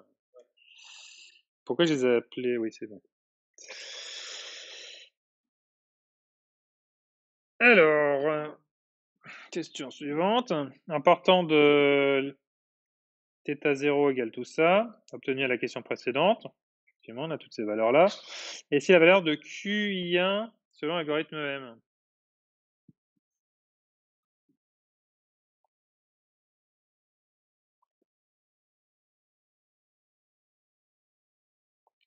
qui l'instant 1. Donc il y en a un pour K euh, pour chacune des valeurs de K. C'est la question 23.5. Oui, euh, ABD euh, XXW, c'était bien 50%. Et alors,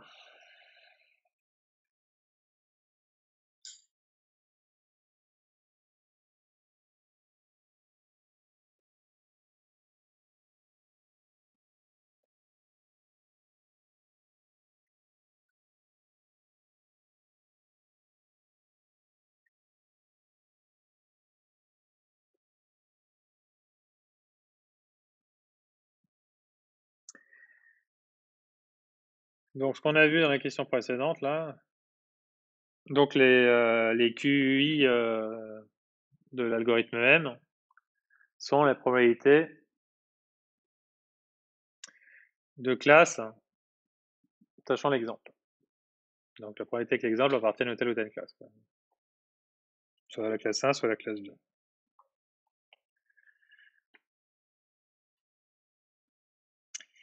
Et après, vous avez vu dans le cours, dans le cas d'émisseur de Gaussienne, quoi, que c'est proportionnel a priori. Donc probabilité d'appartenir à la classe K, à la classe 1 ou la classe 2, quoi. Donc c'est un vecteur comme ça. Vous avez la probabilité dans la classe 1, sachant l'exemple xi que vous êtes en train de regarder et ses paramètres. La probabilité dans la classe 2, sachant les xi, le xi que vous êtes en train de regarder et les paramètres aussi. Hein, donc c'est un jeu de vecteurs comme ça.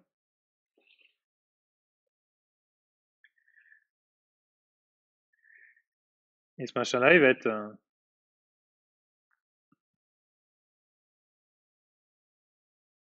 proportionnel.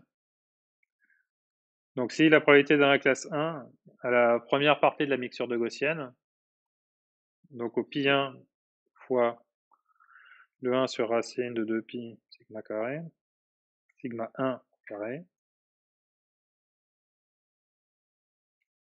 exponentielle de moins 1,5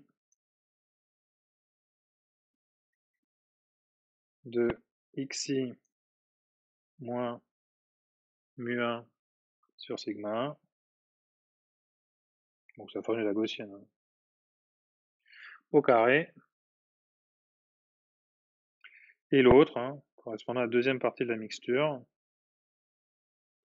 1 sur racine de 2pi sigma 2 carré exponentielle de moins 1,5 de xi moins mu 2 sur sigma 2 carré.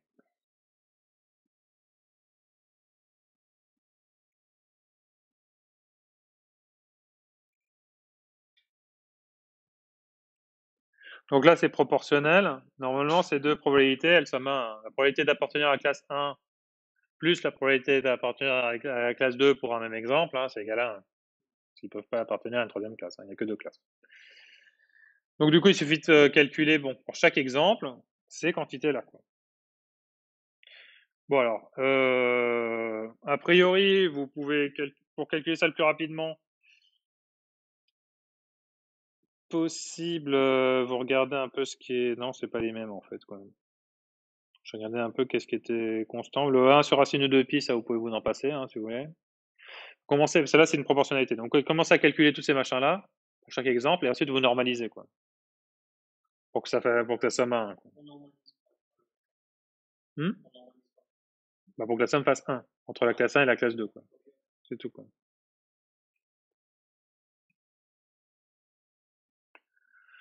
Euh, donc c'est risque d'être un petit peu fastidieux.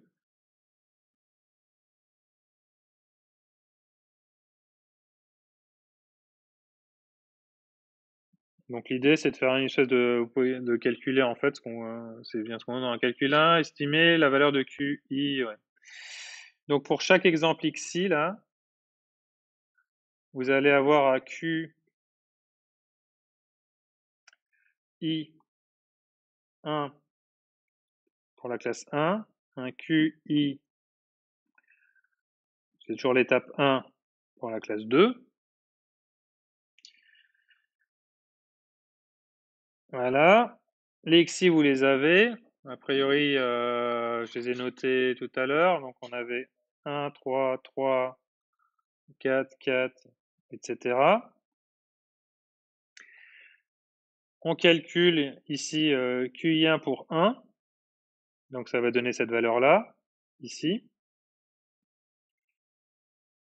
cette valeur-là, on va la calculer 1 pour l'exemple là, et cette deuxième valeur, c'est la première valeur, et cette valeur-là, hop, on va, on aller la mettre là.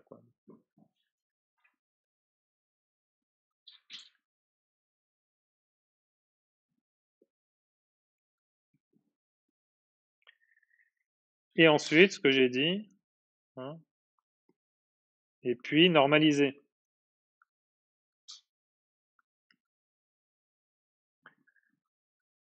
Si vous normalisez pas, vous allez forcément voir s'il est plus probable qu'elle appartienne à telle classe ou à telle classe. Il suffira de comparer les deux nombres, donc vous pourrez prendre euh, effectivement, si la question c'est est-ce qu'il est plus probable qu'elle appartienne à telle classe ou telle classe, vous pouvez prendre la décision. Mais si vous avez besoin plus tard de maximiser, à ce moment-là, vous êtes obligé de prendre les vraies valeurs. Et donc c'est pour ça qu'il est obligatoirement enfin, c'est obligatoire de normaliser à ce moment-là.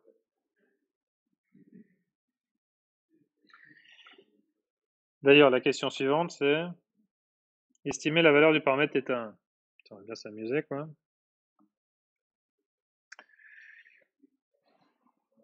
Alors, combien de temps il reste? Va. Euh, ça va, ça. Ouais, mais j'aimerais bien avancer sur. Ouais, ça serait bien qu'on fasse au moins l'exercice suivant. On va accélérer un petit peu. Donc ils veulent euh, la valeur du, des paramètres θ, des paramètres, de tous les paramètres à l'étape 1, 23, 6.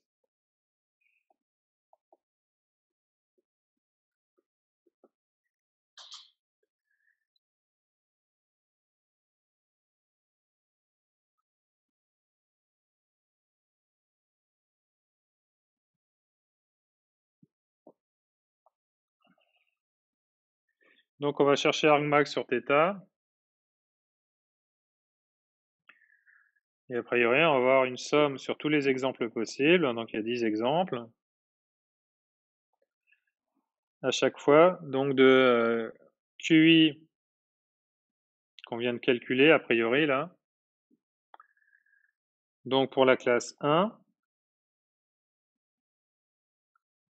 fois ce qu'on avait déjà noté, log de pi1 moins 1 demi de log de sigma 1 au carré, ça on l'a déjà écrit tout à l'heure, ça. Moins 1 demi de x1, de, pardon, de xi moins mu1 sur sigma 1, le tout au carré. Donc voilà, ça c'est pour la première partie de la mixture, plus Deuxième partie de la, mixture. QI T plus 1, mais pour la classe 2. 2, a priori la même chose écrite, mais avec des 2. Hein. Pi 2, 1 mu 2, là. Sigma 2. Ouais, un truc avec des 2.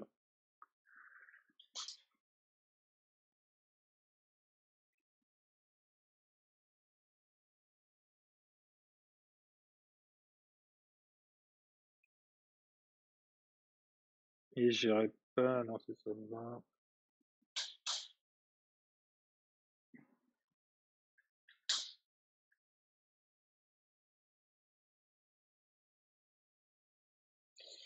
Alors, si on doit estimer, euh, on nous demande d'estimer tous les paramètres. Bon, on va commencer par le plus simple, c'est estimer euh, pi 1.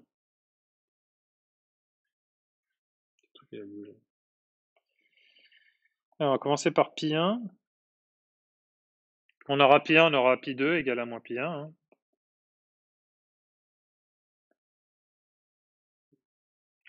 Donc on va dériver cette quantité-là, donc la vraisemblance, hein, d de log à l'étape t plus 1 qu'on est en train de faire.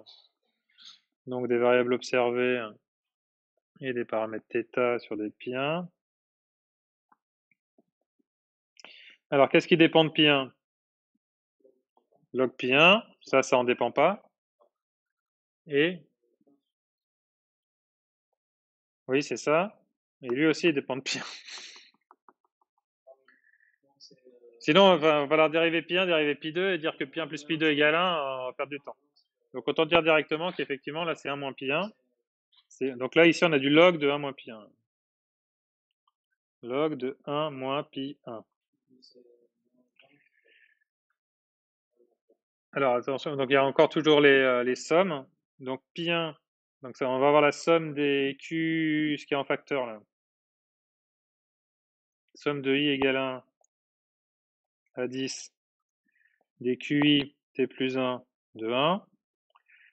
Et dérivée de log de pi1, c'est 1 sur pi1. Donc ça nous donne ça. Et l'autre, dérivée de log de 1 moins pi1, la dérivée c'est dérivée de ça, log de 1 moins pi1, moins 1 sur 1 moins pi1. Attention parce qu'il y a un moins devant le pi1. Donc c'est u' sur u. u' c'est moins 1. u' sur u. Donc il y aura moins 1. Donc le moins 1 il est là. u c'est 1 moins pi1. Et au numérateur, on a, la somme en facteur, somme de 1 à 10 des Q2. Q2, 2. Avec I et T plus 1.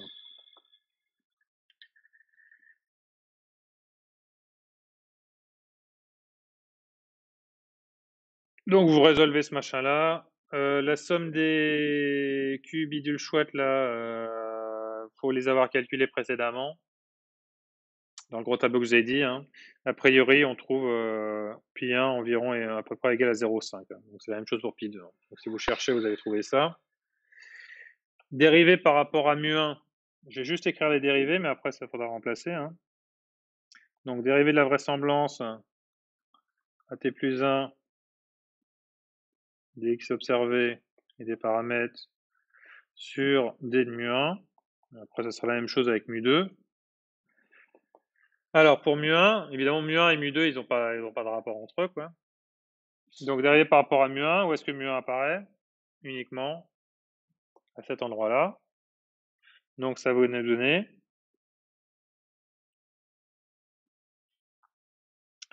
somme i égale 1 à 10. Comment je dérive ce truc-là?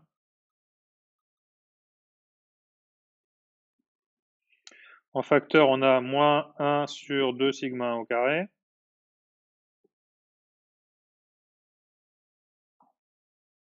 D'accord? Moins 1,5 sigma au carré, tout ça. Et maintenant, il faut que je dérive par rapport à mu1 xi moins mu1 au carré. Donc, c'est dérivé de u au carré, c'est 2 uu'. Donc, 2u, on va l'écrire, hein, fois 2u xi moins mu 1, u' moins 1.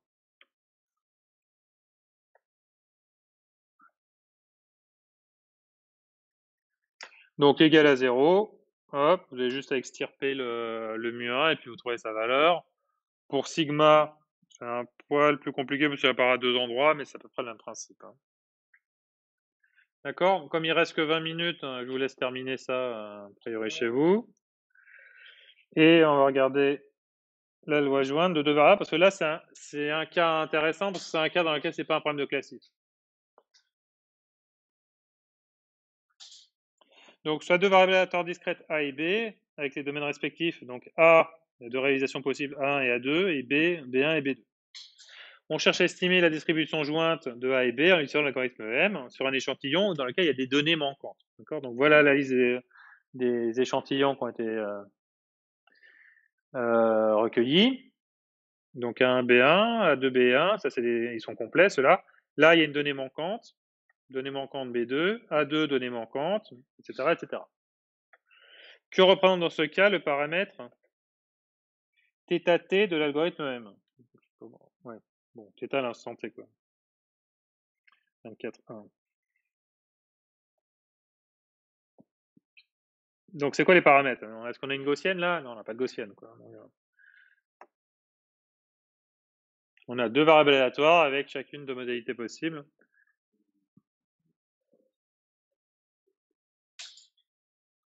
Déjà, on va faire plus simple. Que représente le paramètre θ tête combien déjà Il y a combien de paramètres réels à estimer là?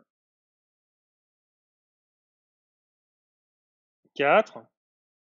Oui. Bah, je sais pas pourquoi tu. Oui, non, mais alors peut-être pas, pas sachant quoi. On essaie d'estimer la loi jointe. Donc on essaie d'estimer la probabilité que A égale à 1 et B égale B1. On va peut-être l'appeler θ 1, 1, lui. On a besoin d'estimer la probabilité que A égale à 2 et B égale B1 aussi. Hein, on va l'appeler θ 2, 1. Toute logique, quoi. Bon, en gros, on a besoin d'estimer la probabilité jointe P, P de AB avec deux modalités pour A, 1, A2, deux modalités pour B, B1, B2. Voilà, et puis une fois qu'on a estimé ces probas, ici on a θ 1, 1, ici θ 2, 1, on a θ 1, 2, θ 2, 2, un truc comme ça. Donc on a quatre paramètres à estimer. Et on aura exactement la loi jointe complète. Quoi.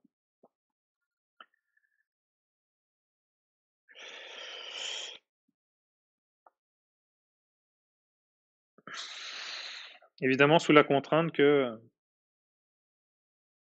la somme des θij là égale à 1.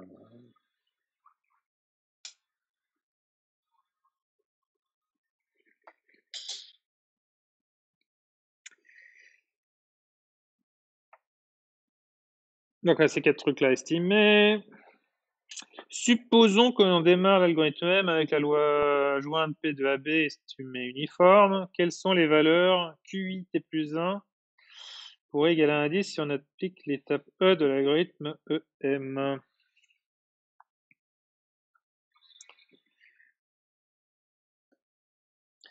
Alors, QI, hein, les, euh, QI, c'est toujours la probabilité de la cacher, sachant euh, tout le reste tout le reste étant connu. Donc à la fois les, données observées et les paramètres du modèle.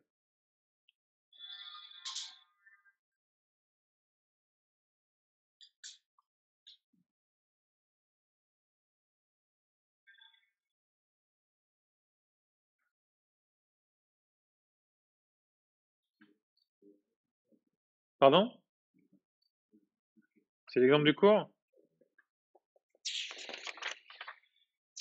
Où ça? Peut-être qu'il a changé son cours, parce que moi je l'ai imprimé, mais peut-être que j'ai une vieille version. C'est page combien? 33 Possible, hein. Ah ouais, tiens, il y a des trucs. 33. Un autre exemple. A et C. Ça ressemble, mais il a plus compliqué, exemple du cours. C'est pas grave, tu vas me trivialiser le truc vite fait, quoi. On va avancer beaucoup plus vite, quoi. Sur la contrainte, ouais, assez. Ouais, mais il y, a, plus de modalités dans le truc du cours, j'ai l'impression. A, il peut prendre A ou B, alors que B, il peut prendre C, D. Ah non, C ou D seulement. Oui, ça ressemble fortement, oui. Ça ressemble fortement.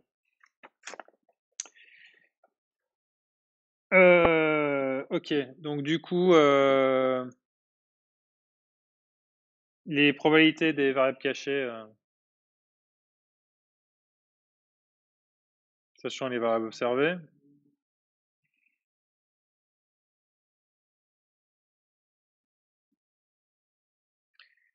Donc, par exemple, c'est la question 24.2. 24.2. Donc, si on doit estimer la probabilité de A égale 1, sachant B égale B1. Si tout est uniforme, si tout est uniforme, c'est la loi jointe, a priori. Les θij, là, ils valent tous. Combien valent les θij dans, dans l'hypothèse de cette question? Ils valent, tous un quart.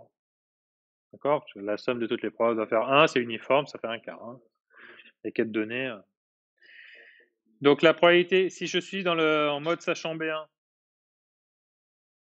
donc je me restreins à toutes les éventualités où B vaut B1, ça fait combien d'éventualités parmi les quatre? Il n'en reste plus que deux. Il ne reste plus que deux avec chacune une probabilité à un quart. Donc je, renormalise. Donc probabilité de ça, c'est non, c'est un demi. Parce que la seule autre possibilité, c'est la probabilité que A vale A2, toujours dans, dans le monde où B vaut B1, et ça fera un demi aussi. Ça fait, euh, faut que la somme des probabilités fasse 1, hein, parce que A, il peut prendre que ces deux modalités, donc la somme des deux doit forcément faire 1. C'est équiprobable, a priori. C'est juste une normalisation. Hein. J'ai fait, en gros, j'ai calculé euh, probabilité de A et B et divisé par la somme de, tout ce qui restait. Donc ça c'est pour, euh, euh, pour sachant B égale B1 et puis vous avez la même chose avec sachant B égale B2. Hein. A égale 1, sachant B égale B2, c'est un demi. Et pareil, probabilité de A égale à 2, sachant B égale B2, vous avez aussi un demi. Donc sachant tout ça, vous allez pouvoir calculer les QI, donc notamment celles où il y a des variables manquantes. Il y a une variable manquante pour la, donnée 3. Donc Q3, on vous demande les Q1 T plus 1. Bon, ok, c'est vous, T plus 1. Donc Q3 à T plus 1 de XI caché là. Qu'est-ce qui, est caché dedans? C'est le A. Ça peut être soit A1, soit la, variable cachée, elle vaut A1. À ce moment-là, c'est la probabilité que A vaille A1. Sachant B égale, là B il est connu, hein. dans la troisième donnée c'est B égale B2. Voilà, donc ça vaut 1,5. Et vous avez aussi, pour la donnée 3, Q3 T plus 1, dans le cas où la variable cachée vaut A2, donc c'est la probabilité que A égale A2, sachant B égale B2, ça c'est connu, ça vaut 1,5 aussi. Ah, on choisit pas dans EM, quoi. On écrit la, on écrit la, mixture des, euh, de, de tous ces machins-là, quoi.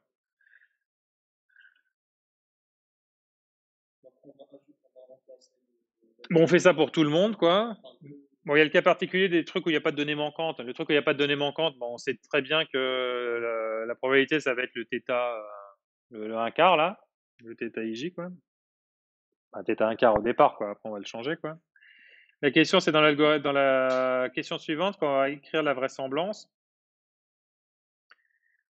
10 minutes. Donc vous êtes d'accord pour les autres, c'est pas très compliqué. Hein. Vous faites exactement la même chose, quoi. Vous m'écrivez sachant la donnée qui est connue, et puis des fois c'est DA1, des fois c'est DB1, etc., etc. Hop.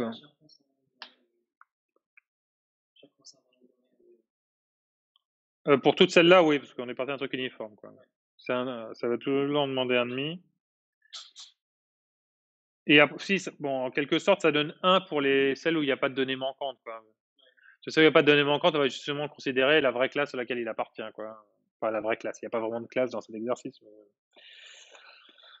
Moi, je pense toujours en classe. Ça me permet de connaître les trucs plus facilement. Donc, la question 24.3, on vous demande, utilisant les valeurs de QIT, XIH de la question précédente, donne l'expression du log LT plus 1 de x observé et de θ.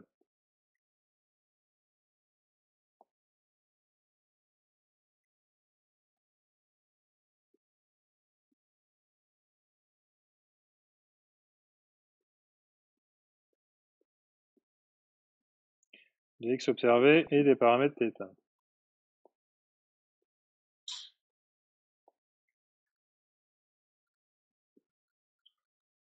Donc d'après euh, votre cours là, vous savez que c'est la, on l'a déjà vu aussi dans c'est la somme des Q, la somme des QT log la probabilité jointe divisée par QT encore une fois. Donc c'est ce qu'on va écrire a priori euh, ici. Alors peut-être que je vais le mettre en, détail avec les, euh, les éléments qu'on a. Donc somme sur toutes les données. Je ne sais plus combien il y en a. 1, 2, 3, 4, 5, 6, 7, 8, 9, il y en a encore 10. Alors, somme sur les 10 données de la somme pour les variables cachées, en fait, les différentes modalités possibles des variables cachées, sachant que s'il n'y a pas de variable cachée, après, il n'y a qu'un seul élément qu'on va considérer. Hein. Donc, euh, xih appartenant à xh, ça c'était déjà écrit comme ça dans notre cours. Donc, les différentes possibilités de variables cachées. Donc, du q plus 1 i de xih fois le log de donc la probabilité jointe des variables observées et cachées, xi observé, xi caché, sachant les paramètres, sur le même QI. QI t plus 1. Je vois j'ai un point qui ne s'affiche pas. Euh, QI t plus 1 de XIH. Donc ça, les QI t plus 1 XIH, on les a tous calculés. Donc là, l'idée, c'est juste de passer directement, regarder combien ça vaut dans tous les exemples. Premier exemple. Donc somme sur chaque exemple. Donc on va regarder exemple par exemple. Premier exemple, c'est A1, B1. A1, B1. Bon, après, il n'y a pas de variable cachée. Donc il n'y a qu'une seule possibilité. Ça va être log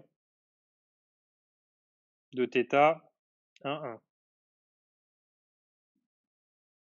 Deuxième exemple. On a A2B1. Bon, pareil, il n'y a pas de variable cachée, une seule possibilité. Log de θ, c'est 2, 1. Voilà. Troisième exemple, là, il y a une variable cachée. La première, soit elle à 1, soit elle à 2. Donc là, il va y avoir, je vais mettre en dessous, il va y avoir deux termes. Donc le QI pour, pour cette variable-là, le Q3, on l'a vu précédemment, c'était 0,5 fois le log. La probabilité jointe, bah, c'est le θ. Là, je suis en train de considérer A1, B2. Hein. Je fais comme si pour l'interrogation, c'était A1. Donc A1, B2, c'est θ1, 2, donc toujours sur 0,5. Plus la deuxième possibilité, c'est que la première valeur, ça soit à la place du point d'interrogation, ça soit A2. Donc ça donne 0,5 aussi. Bon, c'est un hasard que ce soit la même valeur. Bah, c'est pas un hasard parce qu'on a pris la loi uniforme, mais, euh, du coup là, ça fait θ de 2 sur 0,5 aussi.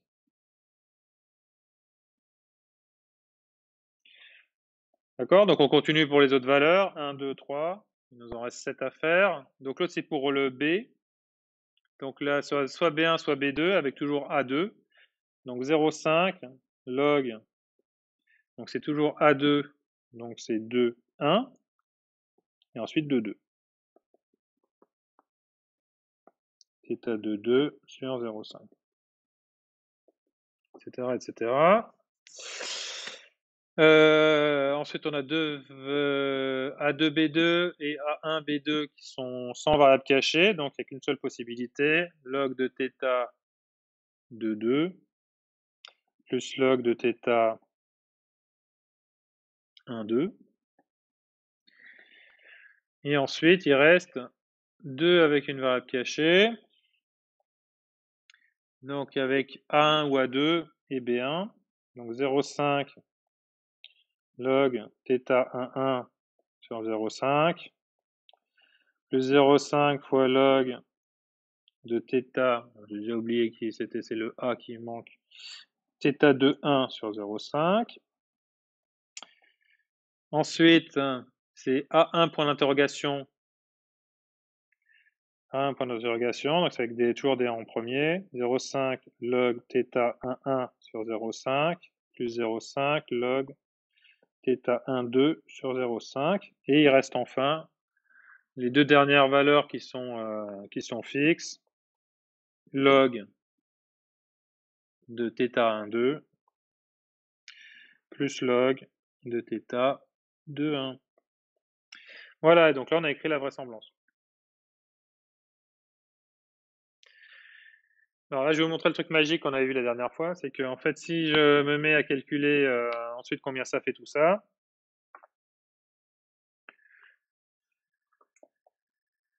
donc il va y avoir quatre termes.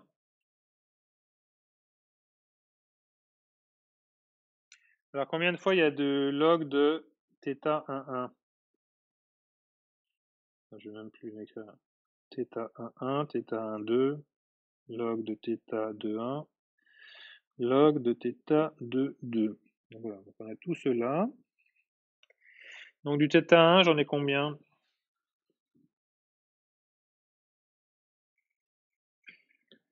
Mince. Hop. Du θ 1, j'en ai là, là, là, et c'est tout. Donc là, j'en ai, j'en ai une fois là, et 0,5 et 0,5 fois là. Donc au total, j'en ai deux. Exactement. Deux pour lui. Pour du θ 1, 2. θ 1, 2, il est là, là, et là, et là. Donc là, j'en ai trois.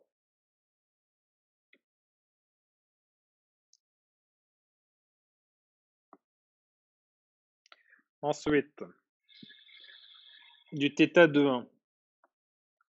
Du 2, 1, j'en ai 1, 1, 1 et demi, 1 et demi, 2, 3. J'en ai 3 aussi.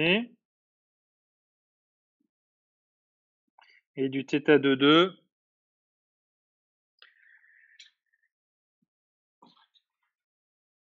Bon, c'est tout ça, du θ 2, 2. θ 2, 2, non, il n'y en a pas. 1 demi, 1, 2, et c'est tout. Plus 2. Il me reste toute la somme de tous les dénominateurs. Donc ça va être moins. Et il y a combien de, de log de 0,5 Autant que de dénominateurs. 0,5, 0,5, ça fait 1, 2, 3 et 4. C'est bien ça?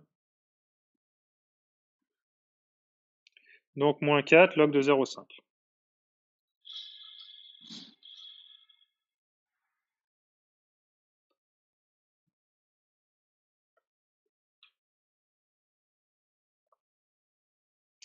Donc après, comment on va estimer ces paramètres-là?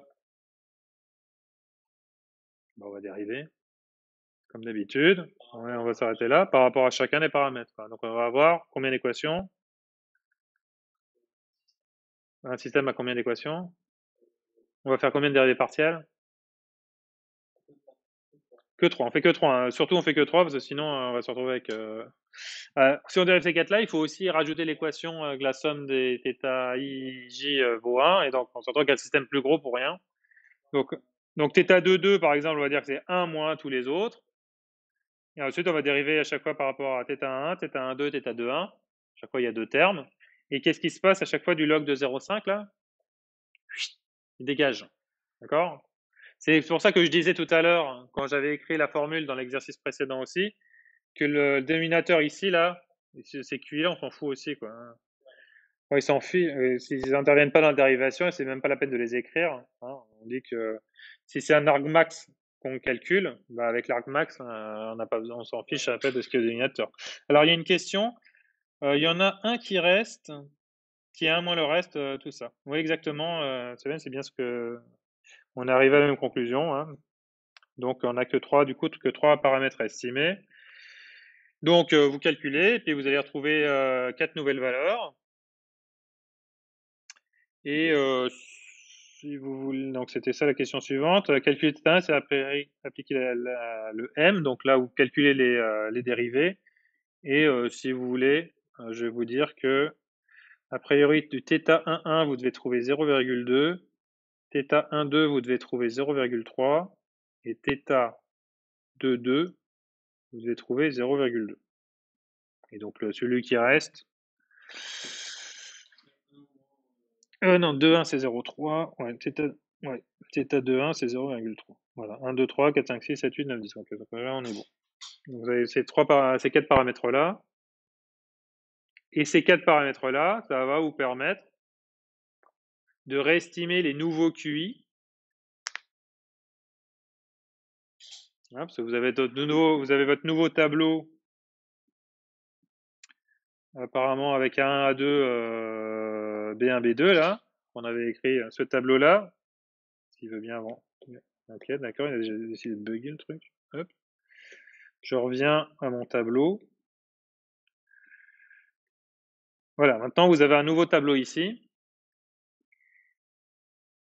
Et sachant ce nouveau tableau, eh ben, évidemment, dès que vous allez estimer des QI ici, euh, sachant B2 par exemple, bah, sachant B2, vous placez dans l'univers de B2 ici, vous normalisez ces deux machins-là, et vous avez les nouveaux, euh, les, euh, les QI qui correspondent à ça, quoi. Ok? Donc on va s'arrêter là.